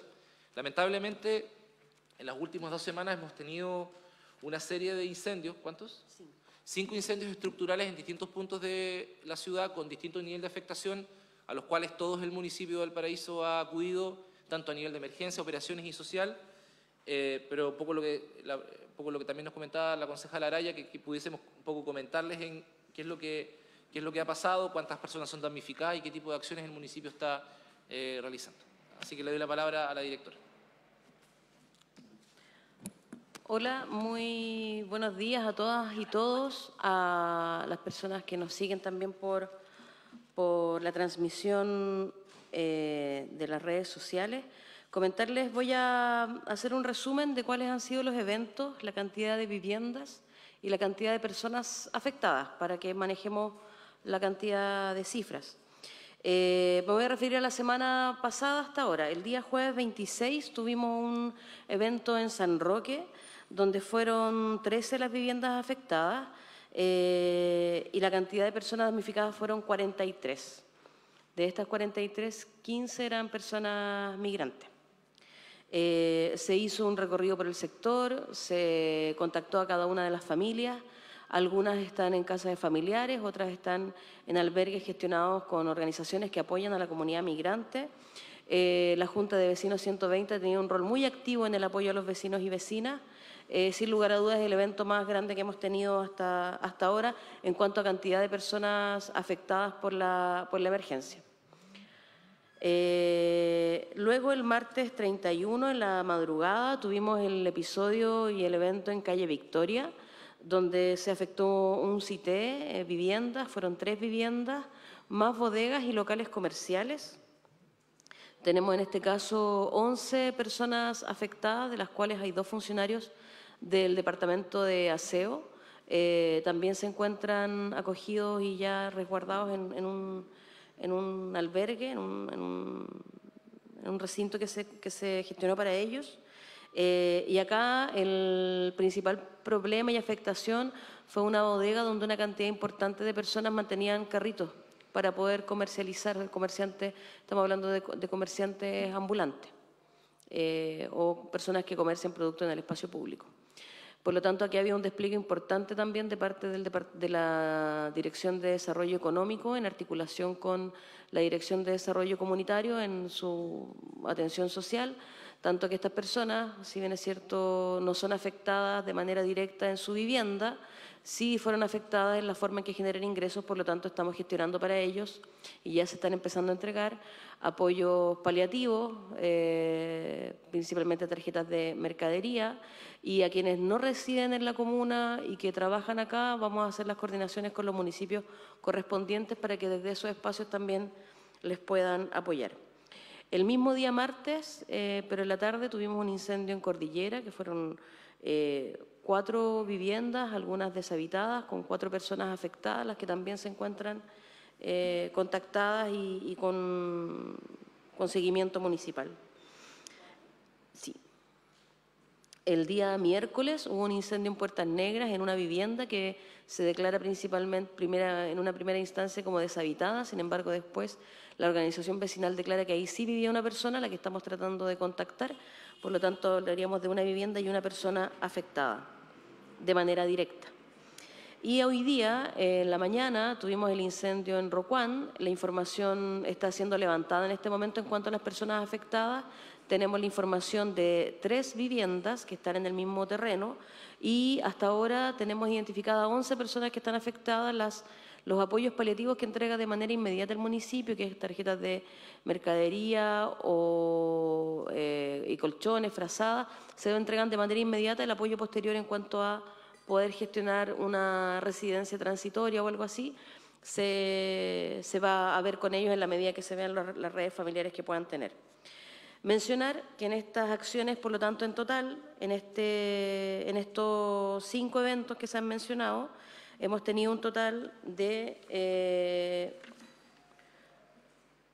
24 eh, viviendas afectadas de manera directa, total o parcial, y 70 eh, personas, sin considerar en estos 70 a las personas que ejercían comercio ambulante, ya que no fueron afectadas como damnificadas, sino que más bien se afectó su fuente laboral. En estos eventos hemos concurrido distintas eh, distintas actorías municipales, gestión de riesgo y desastres, operaciones a través del DAT para el retiro pronto de escombros, eh, las oficinas municipales de zona con los profesionales que han estado presentes en todas las emergencias que se han eh, presentado y que se han identificado.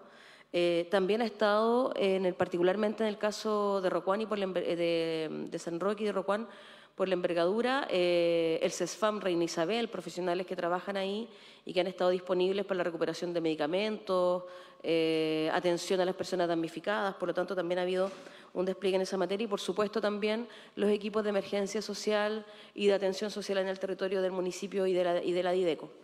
Eh, particularmente para el caso de Rocuán y en general como acción que desarrollamos para todos los incendios, eh, nos preocupamos de ver si es necesaria una vivienda de emergencia, que son las mediaguas que entregamos tradicionalmente en caso de que las personas sean propietarias o tengan alguna autorización de un propietario de terreno para poder colocarla. Eh, solicitamos también al Servio como ejercicio y parte de, nuestro, de nuestra acción eh, asignaciones directas para subsidios de arriendo, eh, porque hay personas que son propietarias y otras que son arrendadoras, pero para todas se solicitan eh, subsidios de arriendo, asignaciones directas y también asignaciones directas para construcción en sitio propio en el caso de las personas que sean propietarias. Y acá, por supuesto, también ingresa otro actor municipal, como es nuestra Dirección de Vivienda, Barrio y Territorio, quien empieza en el diseño y la acción de la elaboración de los proyectos. Eh, las asignaciones directas son importantes y de verdad desde el Servio, al menos hasta el año pasado, tuvimos una, muy buena, el Servio y la Ceremi, muy buena respuesta. Sin embargo, lo que nos parece importante es que no solamente desde el municipio podamos ejercer acciones en clave de emergencia independiente de la envergadura del evento, sino que sea una acción permanente tanto del nivel central como del nivel regional, acciones de apoyo a los municipios y a los gobiernos locales cuando tenemos emergencias de este tipo. Nosotros, si contabilizamos del año 2021 y 2022 los distintos eventos de emergencia atendidos por el municipio, eh, al menos desde el 2021 hasta el 2022 han ido en incremento. El año, no estoy hablando de incendios específicamente, sino que eventos eh, lluvia, eh, ventisca, sismo, eh, temporales. El año 2021 tuvimos 60 eventos y el año 2022 84. Aplicamos el año 2021 132 FIBES y el año 2022 278. Y personas afectadas tuvimos el año 2021 385 y el año 2022 800. Entonces, la cantidad de personas afectadas por emergencias en Valparaíso durante un año acumulativamente corresponden y son muy similares a lo que puede ser un mega evento o un mega incendio. Por lo tanto, consideramos que las respuestas que podemos tener tanto de las delegaciones, de las gobernaciones, de la seremía, es poder a lo mejor considerar financiamiento para bonos de enseres, porque independiente que sea un incendio que afecta a 200 familias, a una o a 10, la persona igual, la familia igual lo pierde todo, y también eh, la asignación directa y como, como, de emergencia, más que asignación directa de parte de apoyos eh, en materia de, subsidios para la reconstrucción de las viviendas, sobre todo aquellas en sitio propio, en sectores que son eh, tradicionales y antiguos de Valparaíso, sobre todo en este caso de San Roque, que son viviendas donde las familias habitan y están ahí alrededor de, la, de las personas que fueron afectadas en este caso. Eso por nuestra parte totalmente disponible, si quieren conversar algún caso en particular, poder hacerlo posterior al Consejo para no exponer la condición particular de cada familia en este espacio y, por supuesto, atenta a las sugerencias, consultas y dudas que se puedan realizar. Destacar que desde la Dirección de Vivienda, Barrio y Territorio se han hecho coordinaciones para que pueda acceder una ONG a evaluar ciertos terrenos para ver si previo a la construcción de viviendas definitivas se puede entregar una vivienda de emergencia de mejor calidad a las personas que fueron afectadas, pero eso va a depender de la evaluación que esta organización y esta fundación tengan en cada uno de los terrenos afectados. Eso, alcalde. Gracias. Eh, ¿Preguntas? Iturrita, concejal, adelante, por favor. Gracias, alcalde. Sí, eh, preguntarle a la directora, yo sé que, se ha estado presente en todos los, eventos lamentables que han habido en la ciudad, pero preguntarle cuánto el municipio está demorando en llegar con la ayuda de lo que es una mediagua, que es una ayuda paliativa, y en realidad ver la posibilidad de que eh, este consejo pudiera mirar la posibilidad de que la ayuda a futuro no sea la famosa mediagua que en realidad es, no, es muy precaria. Entonces, buscar, digamos, la, alternativa de, una vivienda de emergencia con, mayores, eh, de mejor calidad y, verlo a posterior, porque creo que eh, el tema de la familia es complicadísimo pasar por ese lado. Gracias. Gracias, Dante. Gracias, Dante.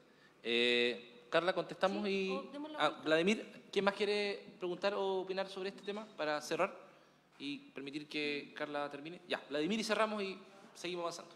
Eh, presidente, sí, efectivamente el tema de los siniestros y sus causas em, son diversas, desde descuidos a Vi una foto de una, de una casa, parece que fue en, en, donde había un microondas sobre un colchón. Eh, entonces, primero felicitar la gestión que ha hecho el municipio en poder tener respuesta rápida en una situación que, que, ha afectado a muchos. Y las cifras que te dando eh, la administradora subrogante eh, dan cuenta de aquello. Creo que hay que mirar la situación de los siniestros en una mirada eh, de respuesta rápida que hay un protocolo que, funciona, em, y hay otros, y, pero también hay, un ejercicio preventivo que también hemos estado eh, apoyando con, hoy día el eh, Departamento de Riesgo y Desastre, antiguo equipo de emergencia, em, porque hay que eh, ser como una especie de campaña preventiva, creo que es importante ello. Creo que es importante que la gestión del Departamento de Vivienda también esté enfocada en poder subir los estándares de, las soluciones en viviendas tipo, de construcción, autos, autoconstrucción asistida, los programas que tiene el gobierno que muchas veces no llega con la rapidez que uno, que uno quisiera. Em, y la mirada también de que la respuesta ante los siniestros eh, es una respuesta también integral, que es técnica, es social, muchas veces económica. Eh, e insisto, la, exposición hecha por, por Carla da cuenta de aquello. Creo que tenemos la, obligación de poder responder desde la prevención también y, vamos a estar avanzando en eso, presidente. Concejal Araya, gracias, Vladimir.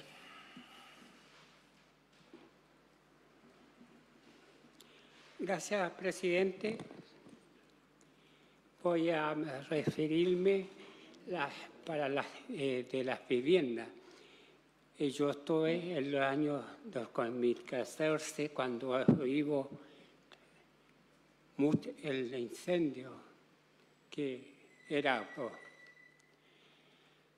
pero que lo que pasa ahí con la empresa y también con las medias aguas que eh, pasaba la municipalidad en ese tiempo, se las pasaba a la gente que estaba, eh, eh, estaba mal, damnificada, y la municipalidad las pasaban las viviendas, se las dejaban ahí como, como humillación. Y ellos le decían que tenían que a ellos eh, verlas venir la media agua, que la, eh, gente que estaba ahí tenía que eh, apoyar. Ese tiempo estaba, yo eh, me mencionaba al concejal Dante, porque él estaba ahí y, teníamos una, una gobernación también, teníamos que no hicieron nada hasta el día de hoy eh, la, municipalidad ha pero eh, nunca sonó todo. Las empresas quedaban eh, en quebra y después oh, otras empresas venían y, venían y venían, pero nunca se solucionó nada en el municipio, porque yo estaba ahí. Y ahí reclamaban, ahí como, como venía gente eh, que trabajaba en la calle, eh, me venía a criticarme, decirme de todo, pero aguanté con la final que en paz descanse eh, mi amiga Paula, luchamos las dos, pero teníamos puro hombre y lo, ahí lo amarraban y le decían todo, hay que, no podíamos decir nada en contra del alcalde, porque lo, unos copos ah, los pegaban.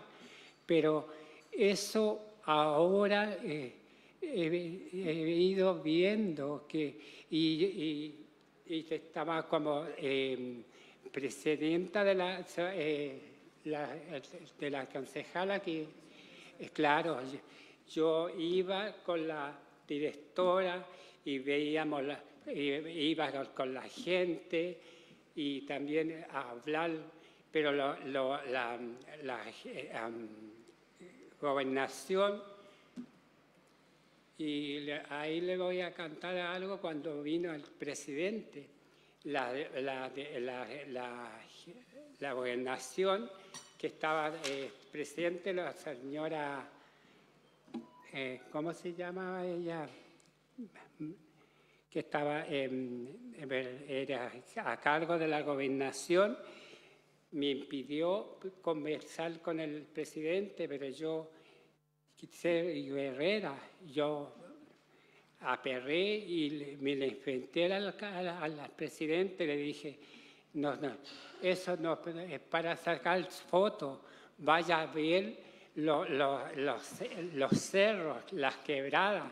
Ensúciese los zapatos y vaya para allá, no en el colegio. están bien ahí, pero las que, que, necesitan hogar, que no hay, hay gente mayor y niño.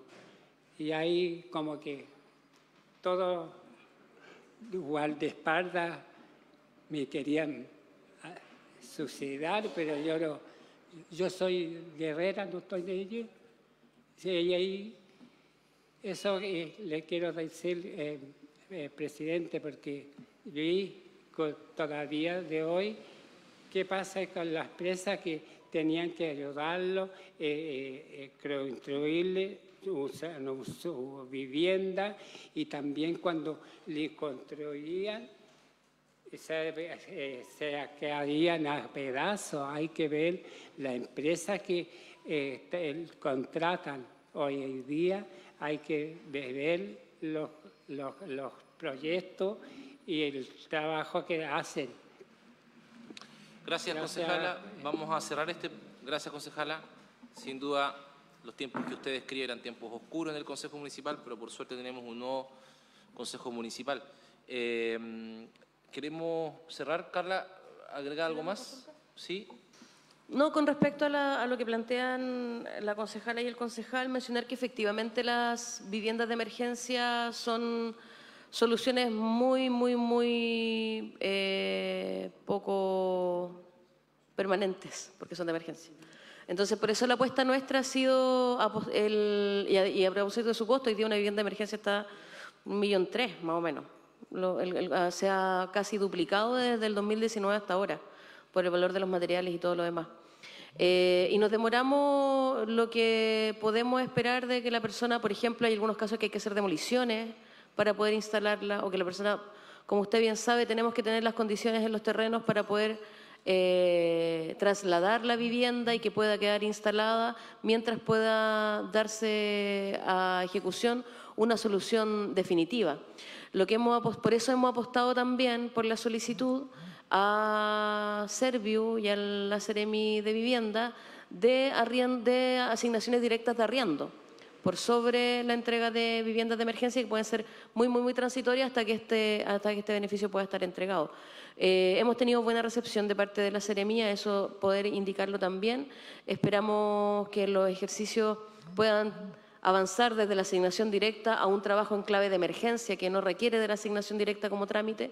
Por lo tanto, eh, claro, nos demoramos lo que menos que podemos en las condiciones que la familia tiene para poder recepcionarla. Eh, no le puedo decir una semana, tres días, cuatro días. usted sabe que esos tiempos son bastante relativos. Entonces, pero en la medida que las personas puedan tener un terreno donde instalarla, eh, nos apresuramos para poder hacer la entrega, por supuesto en coordinación con los equipos de, operaciones, que son quienes tienen las maquinarias para poder trasladarla. Finalmente, rescatar el rol de las organizaciones sociales en, esto. Las dirigencias vecinales eh, y las organizaciones del territorio son fundamentales en el enfrentamiento de la emergencia, no tan solo en la prevención, sino que también cuando nos corresponde verificar quiénes son las personas afectadas y también en poder atender y suplir lo que las personas pueden requerir eh, al momento de enfrentar este tipo de lamentables situaciones. Muchas gracias, eh, directora. Tenemos que pasar a otro punto, disculpen la extensión de la cuenta, pero son cosas que son importantes eh, comentar. Eh, hay otro punto que también es, dos puntos administrativos que son importantes informar, no hay que tomar ninguna decisión, pero tenemos deber legal déjame que la de hacerlo. Eh, lo primero, lo primero es que tenemos que informar, que es solamente algo de carácter informativo, pero no se eh, sin necesidad de acuerdo, eh, la existencia eh, dentro del organigrama de las delegaciones tanto de Laguna Verde como de Placilla de Peñuelas, un trámite que tenemos que realizar, que Nicolás Guzmán lo va a explicar. Y de ahí vamos a hablar algo vinculado a al tema laboral, que también hay un deber legal de información. Buenos días, presidente. Buenos días a todo el Consejo Municipal. Eh, como bien sabe el Consejo Municipal, el artículo 64 de la Ley 18.695 eh, dispone que el alcalde consultará al Consejo para efectuar la designación de los delegados a que se refiere el artículo 68. El artículo 68 de la Ley Orgánica Constitucional de Municipalidad establece que el alcalde puede nombrar delegados en un territorio de la comuna por un periodo determinado eh, y con las atribuciones que se señalen. Como es del caso, eh, señalar las delegaciones, eh, nosotros contamos con dos delegaciones que ya tienen en la práctica carácter de permanente. Una es la delegación municipal de la localidad de Placilla de Peñuela y la otra es la delegación municipal de eh, Laguna Verde. En ambos casos, tanto la delegada de Placilla de Peñuelas como el delegado de Laguna Verde tienen decretos de designación que se encuentran eh, vencidos en su vigencia y por lo tanto al iniciar un nuevo periodo, de, eh, un nuevo periodo anual, año 2023, se requiere eh, prorrogar o directamente designar por un nuevo periodo a estos delegados con las funciones y atribuciones que cuentan en este momento y que les voy a leer a continuación, que se repiten en ambos casos. En particular, se designaría como delegada, eh, mantendría su eh, designación como delegada municipal de la localidad de Placilla de Peñuela de esta comuna, doña Jennifer Araya Lara, eh, a contar desde el, desde el periodo en que venció la designación anterior hasta el día 5 de diciembre del año 2024, fecha en la cual cesa el periodo, este periodo del alcalde Charp.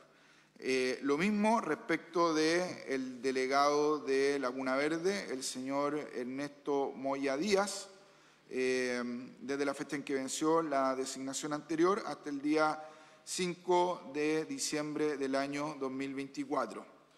En particular, las funciones de eh, la delegada municipal de Laguna Verde son, en síntesis, las siguientes. Administrar en coordinación con el administrador municipal y la unidad respectiva el personal y los recursos materiales asignados a la delegación, incluyendo el buen uso de las dependencias destinadas a la misma, velar por la observancia del principio de probidad administrativa dentro de la delegación municipal, coordinar con el resto de los servicios públicos la acción a que ellos corresponde ejecutar en la localidad de Placilla Peñuela, firmar correspondencia que sea enviada a la delegación municipal de Placilla Peñuela a las diversas organizaciones municipales, representar al alcalde en dicha localidad, administrar los bienes municipales dentro de la localidad y efectuar las funciones que la ley indique y ejercer otras atribuciones que expresamente le delega al alcalde en dicho territorio. Lo mismo para el eh, señor delegado Cristian Moya en la localidad de Laguna Verde Alcalde. Entonces, en consecuencia, eh, con este trámite se cumple lo dispuesto en el artículo 64 de la ley 18.695. Muchas gracias, Nicolás. Otra cuestión vinculada a trámites indispensables para el desarrollo de la gestión municipal guarda relación con, un cambio eh, que está por por la ley de reajuste sector público. Por, claro, por la ley eh, que reajusta eh, las remuneraciones del sector público, como ustedes muy bien saben o han escuchado, en fin, eh, hay, un, hay una ley, también hay dictámenes de Contraloría que avanzan en la línea de reconocer las funciones permanentes que los trabajadores y trabajadoras de, eh, a honorarios realizan en los municipios y en el Estado en general. Eh, esto se recuerda partido a partir de unos dictámenes que el Contralor General Jorge Bermúdez realizó en cuanto a eh, reconocer el carácter permanente, que es algo que todos sabemos, de determinadas funciones de honorario, determinadas personas de honorario que llevan muchos años en, el los municipios, en la administración pública. Y es por eso que se le se, estableció el deber de realizar eh, el traspaso de un grupo importante de ellos de su condición de honorario a condición de contrata. Eh, nosotros hemos estado trabajando desde Administración, la Dirección de Administración y Finanzas y eh, Jurídica sobre esto y tenemos el deber legal de informar evidentemente a través de esta vía al Consejo Municipal eh, de mm, cómo hemos ido avanzando en estas eh, decisiones que, si bien no son obligatorias para el trabajador, el trabajador puede, puede optar por un régimen distinto, sí imponen en el caso del municipio la, obligación de, empujar esto. Y, eso supuso también el reconocimiento a una serie de trabajadores y trabajadoras honorarios de su categoría contractual contrata. Em, entonces, voy ahora a dejar a Consuelo Morales, que trabaja en Administración Municipal, es profesional de la Administración, que es eh, la eh, profesional que ha en la Administración ha estado a cargo de este tema. Posteriormente al director de Administración y Finanzas, eh, don Hermes Gutiérrez, que sería primera vez que en su calidad de director intervendría en este consejo. Como DAF. Como DAF, sí, como DAF. Y posteriormente, para el tema legal, el director de asesoría... ¿Qué me está mirando? ¿Sí? ¿Al revés? Sí, está organizado. Ah, se organizó de otra forma. ¿Sí? ¿Perfil así? Sí, da igual. Porque va a cerrar con la importancia.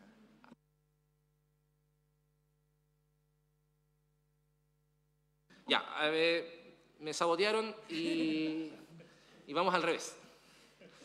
Bueno, no sé. Adelante. No, vamos, alcalde. Está bien.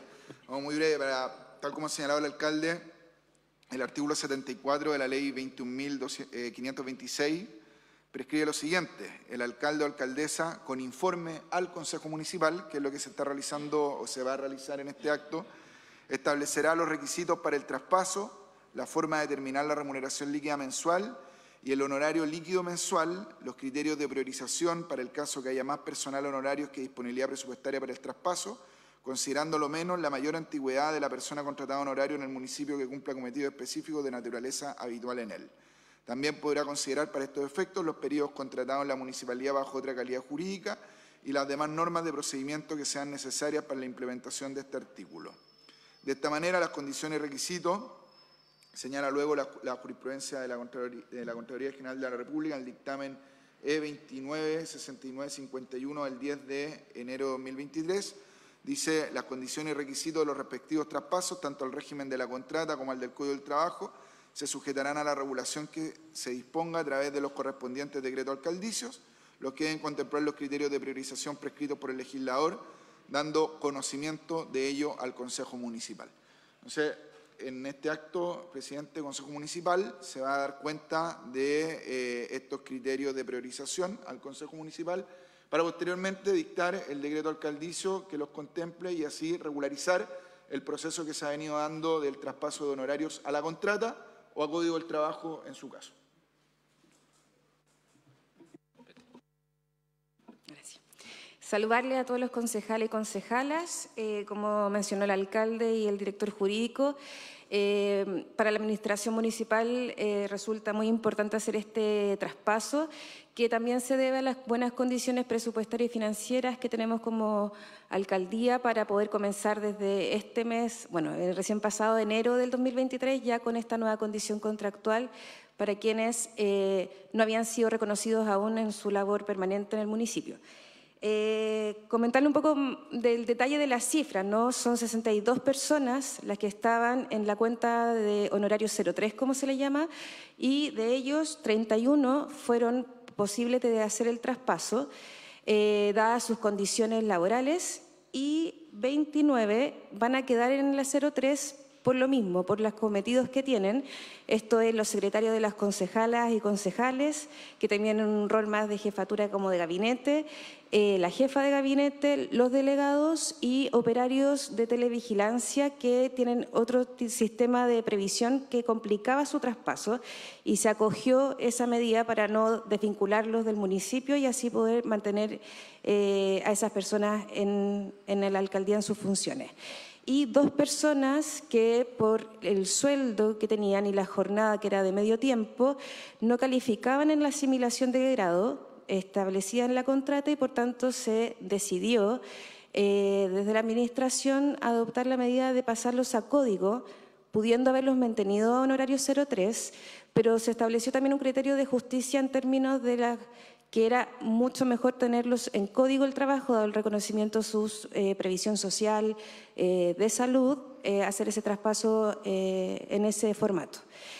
ahora voy a pasarle el micrófono a Hermes para que así pueda dar cuenta de los criterios que se establecieron de materia más presupuestaria para este traspaso de funcionarios. Muchas gracias. Buenos días a todos y a todas.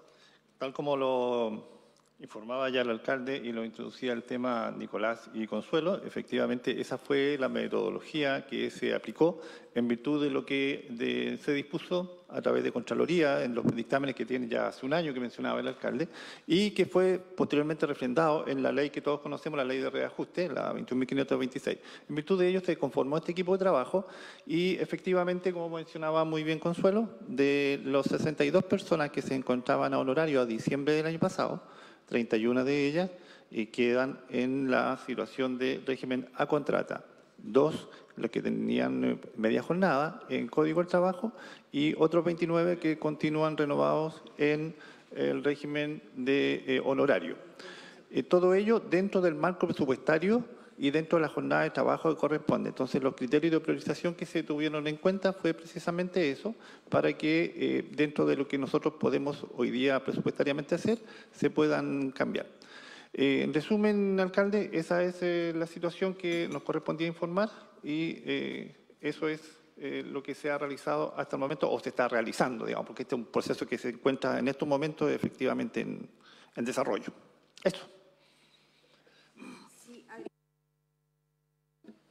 Agregar a lo que planteaba Hermes, que todos los funcionarios y funcionarias mantienen su sueldo líquido eh, y se complementa con eh, los PMG. Ya eso, el PMG que no tenían, dada la condición de honorarios, no está dentro del cálculo para mantener el sueldo líquido, sino que eso es complementario y eso también da cuenta de un esfuerzo de la Administración de las buenas condiciones presupuestarias, reitero, para poder eh, hacer ese traspaso en, ese, en ese formato. Eso, alcalde. Muchas gracias, Consuelo, Hermes, Nicolás. No sé si alguien quiere, tenemos que seguir porque tenemos tres comisiones. ¿Alguien quiere agregar algo? Concejal Morales. Gracias, presidente. Saludar a todos y a todas. Hacer la consulta específicamente por la funcionaria de la Dirección de Obra, eh, Paula García. Ah, ella tuvo un grave accidente, ella ha estado sumamente complicada de salud, ha tenido una serie de, diferencias eh, por estos criterios, entonces yo quisiera saber si más allá de la media jornada, una funcionaria de altísimo nivel solicitada a tiempo completo por el mismo director de obra, quien eh, lleva más de 15 años trabajando en el municipio, eh, es una dirección de obra que está sobrepasada, no entiendo por qué a ella se le pasa a Código del Trabajo y no a contrata. Entonces quisiera que se me contara eso eh, porque eh, realmente no se logra entender eh, cuál es el argumento. Gracias, concejal. ¿Alguien más quiere decir algo? Concejal Araya. tengo duda, señorita. ¿Cuántos años que lleva la gente que van a ser contratada porque eh, eh, ¿cuántos años llevan trabajando sin contra, eh? ¿Cuántas personas son? Que hay muchas personas que llevan 30, 20 años y 15. Eso como tengo como dudas cómo se van a trabajar con eso.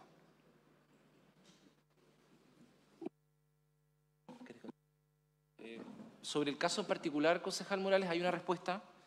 Eh, para no ventilar el caso de la funcionaria acá, los directores pueden acercarse ahora a conversar con usted y explicarle personalmente cuál es la razón de la decisión que se tomó. Es una razón técnica, no es una razón de, de discriminación ni nada, todo lo contrario, nos interesa que todos puedan ojalá pasar a la contrata. Eh, y lo otro que la concejala Araya pregunta sobre un punto, Consuelo. No, comentar que eh, más que un, un, criterio de los años, tiene que ver con las personas que estaban en la cuenta 03. ¿ya? E independiente de los años que hay de distinta antigüedad. Por tanto, el traspaso se hace conforme a la tipología de contrato que tiene la persona más que a la antigüedad en el municipio. No sé si hay contextos. Muchas gracias, Hermes, Consuelo, Nicolás, concejala.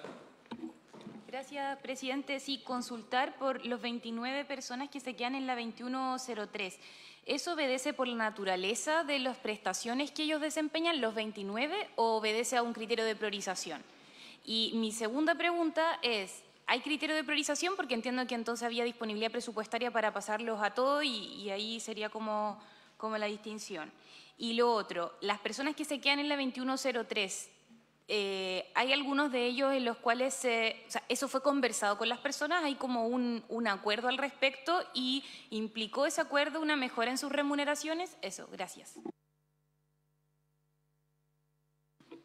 Bien, en cuanto a los criterios de priorización, efectivamente si hay criterios de priorización, tal como señaló el director de Administración y Finanzas y, Consuelo, recientemente estos criterios de priorización, en primer lugar, es que todas las personas puedan, que estaban eh, sirviendo como 2104, puedan, 03, perdón, puedan pasar a la contrata. Ese es el primer criterio.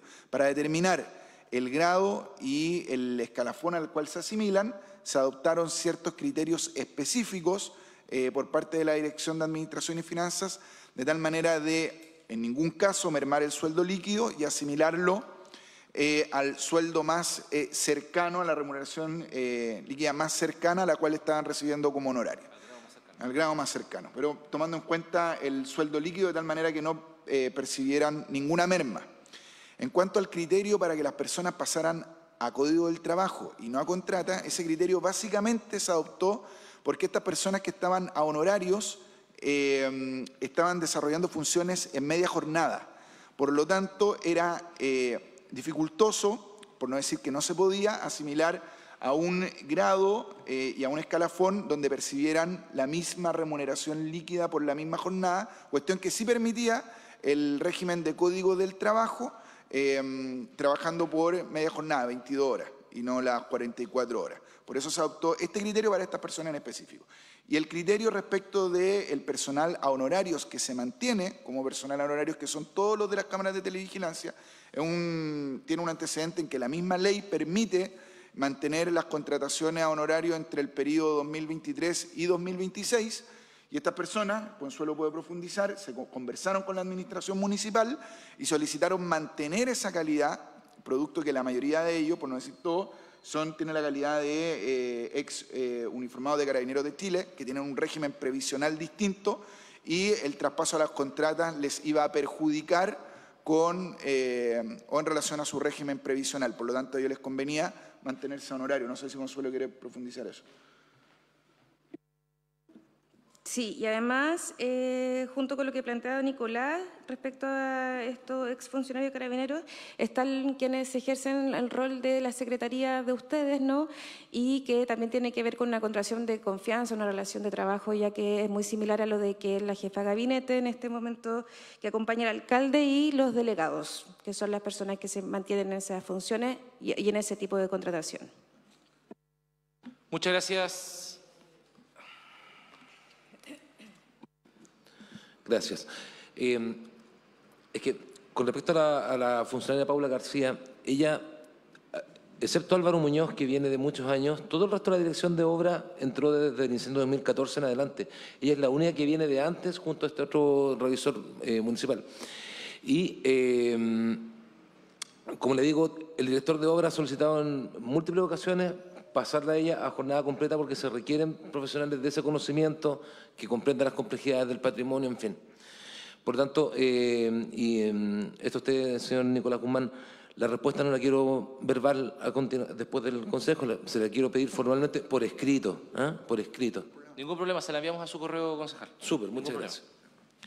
Muchas gracias, Hermes, Consuelo, eh, Nicolás, que siempre se queda eh, hay Dos, hay un, acuerdo formal que me gustaría que adoptáramos vinculada a las eh, subrogancias, que quiero que tengan una modificación en mi calidad de jefe de servicio, y luego hay que corregir un acuerdo que tomamos el consejo anterior, eh, básicamente con un error de forma.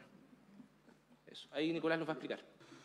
Bien, sí, son dos acuerdos los que, muy breves los que hay que tomar ahora. El primero es establecer para este periodo el orden de subrogancia del alcalde ya se había establecido para el periodo anterior. El artículo 62 de la Ley 18.695 dispone que el alcalde, en caso de ausencia o impedimento no superior a 45 días, será subrogado en sus funciones por el funcionario en el ejercicio que le siga en orden de jerarquía dentro de la municipalidad, con exclusión del juez de policía local. Sin embargo, previa consulta al Consejo, el alcalde podrá designar como subrogante a un funcionario que no corresponda a dicho orden. Por lo tanto, lo que se propone eh, para adaptar el acuerdo del Consejo Municipal es eh, lo siguiente, establecer de acuerdo a lo, dispuesto en el artículo 62 de la Ley 18.695 el siguiente orden de subrogancia del alcalde. En primer lugar, administrador municipal. En segundo lugar, secretario de Planificación Comunal. En tercer lugar, director, directora de Desarrollo Comunitario. Y en cuarto lugar, director de Asesoría Jurídica. Eso. ¿Hay que votar? No, consultar. Ah, ya, consultado ese orden, para que sepan. Sí, ahí estamos. O sea, si no estoy yo, el Daniel, si no está el Daniel, el Alejandro, y si no está el Alejandro, el Natalia.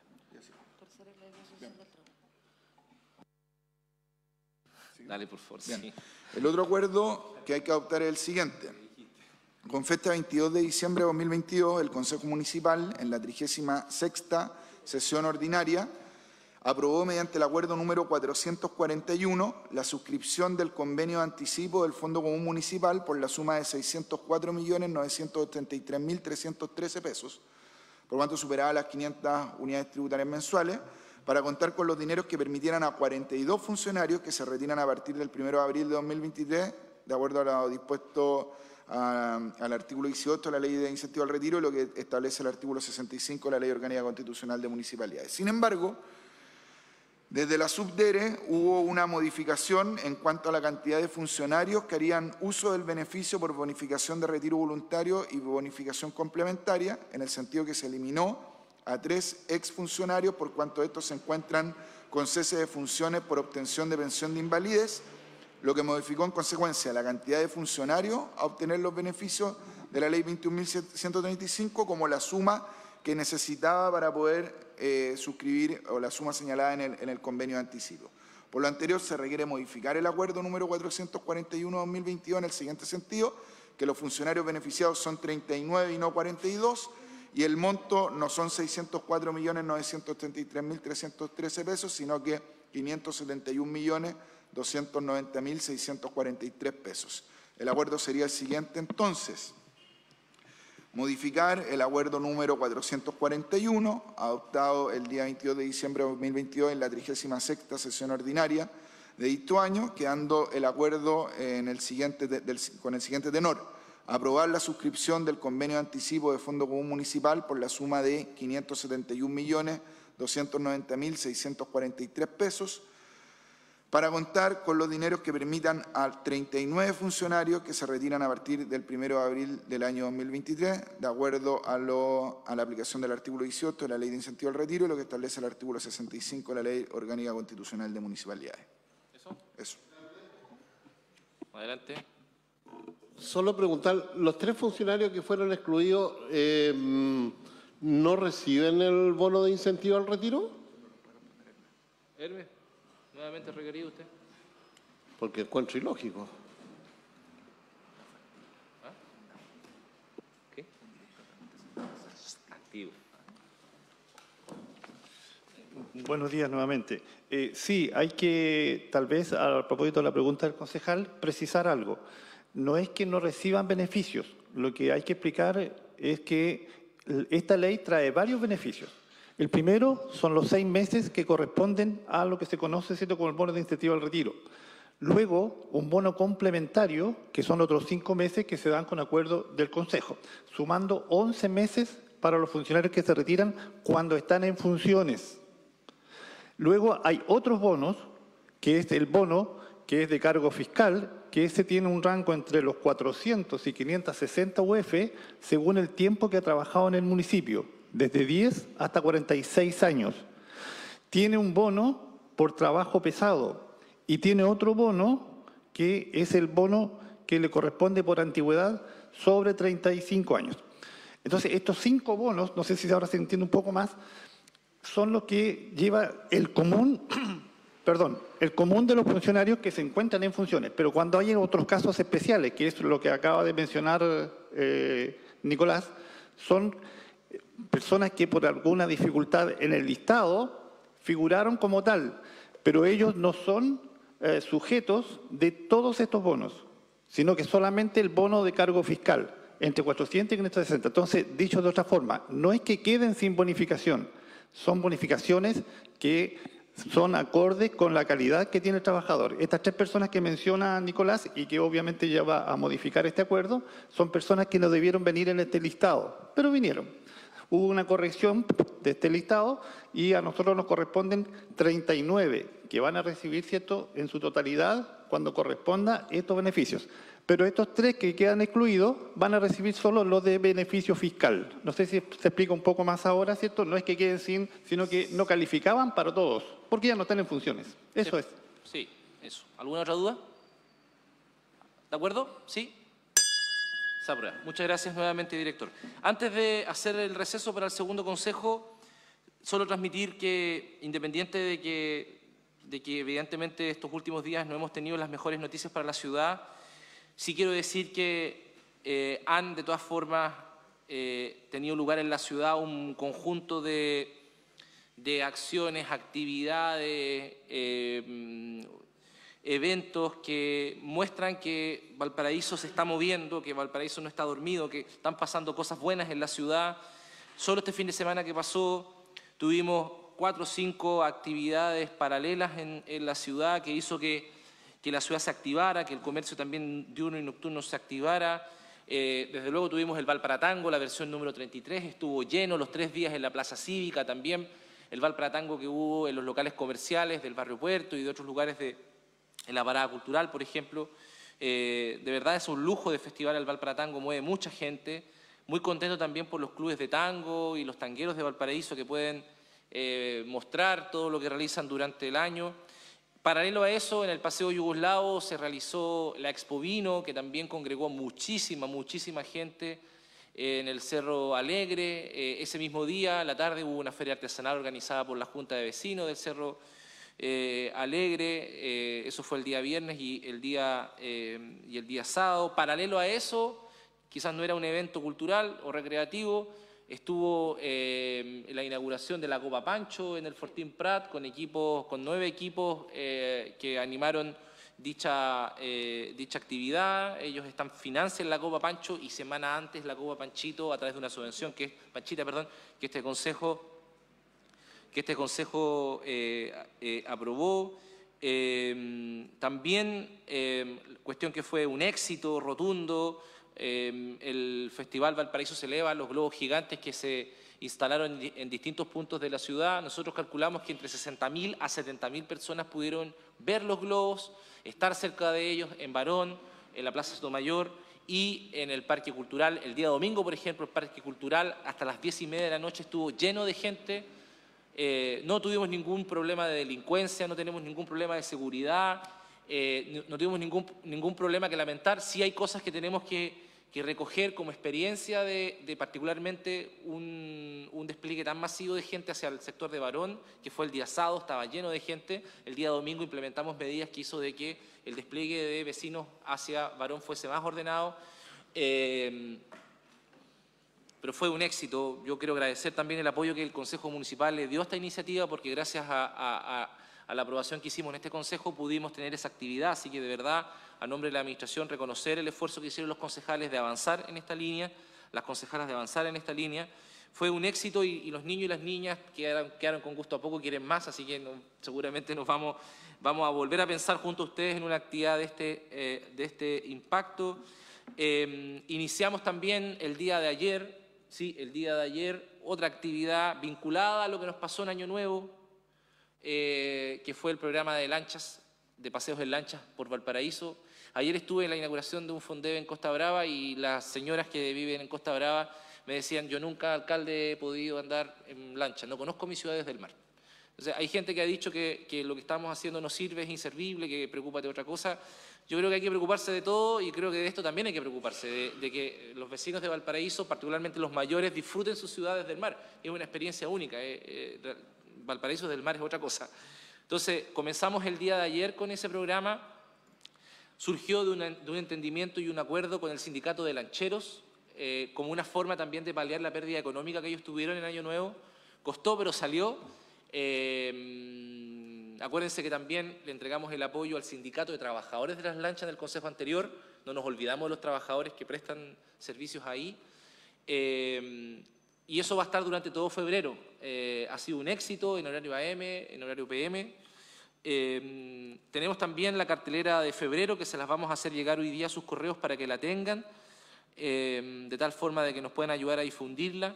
en fin, estamos con, con, una actividad en el espacio público, a propósito de la discusión del Cardonal, tremendamente intensa. El espacio público nos lo, nos estamos ocupando de buena forma, como lo que anunciamos antes respecto al, a Valparaíso, eh, Valparaíso Vive la Plaza, que son actividades deportivas en el Parque Italia, en la Plaza Sotomayor y en, la Plaza O'Higgins. No, perdón, en la Victoria y, Parque, y Parque Italia. Eh, ordenar las plazas para poder ocuparlas para el deporte y la familia porteña. Entonces, quería terminar también con, un mejor sabor de boca, con mejores noticias, porque el fin de semana en Valparaíso pasaron muchas cosas buenas y en torno a esas cosas buenas que pasaron no pasó nada malo.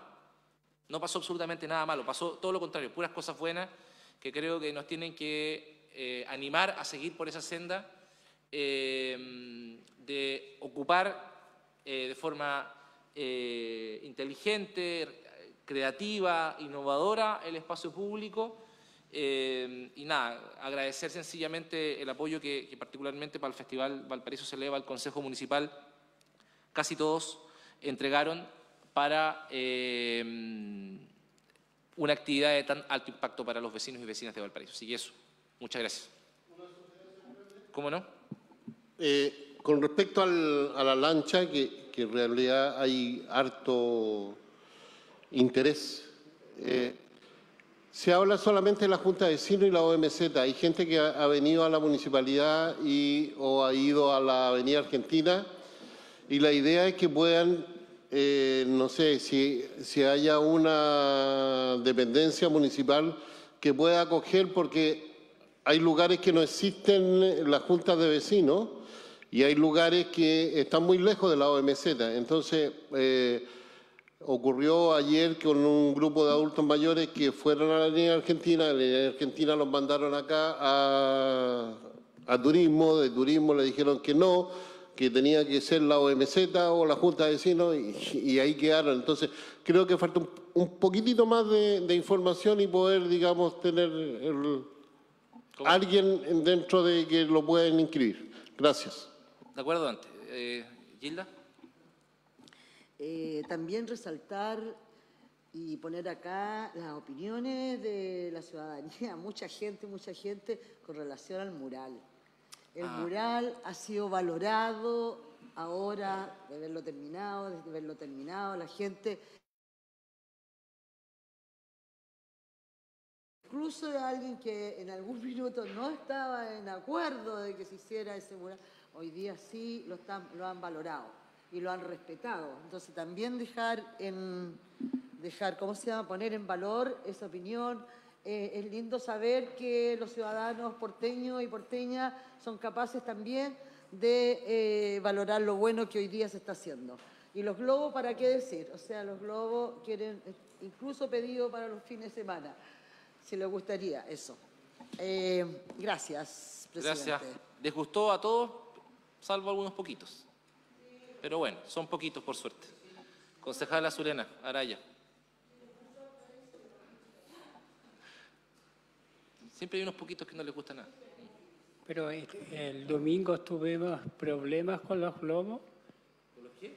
Los globos. Sí, por el viento. Y el, el, pato estaba furioso. El pato.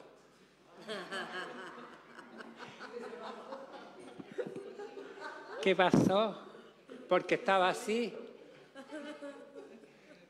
Y lo otro, eh, yo he conversado con los guanderitos, eh, ellos que yo hable por ellos, eh, podemos poner un mural del guande para que también lo aprecie la gente parteña y los guanderitos, porque quieren un mural igual que la Plaza Aníbal Pinto, si eh, alcalde, yo soy guanderita.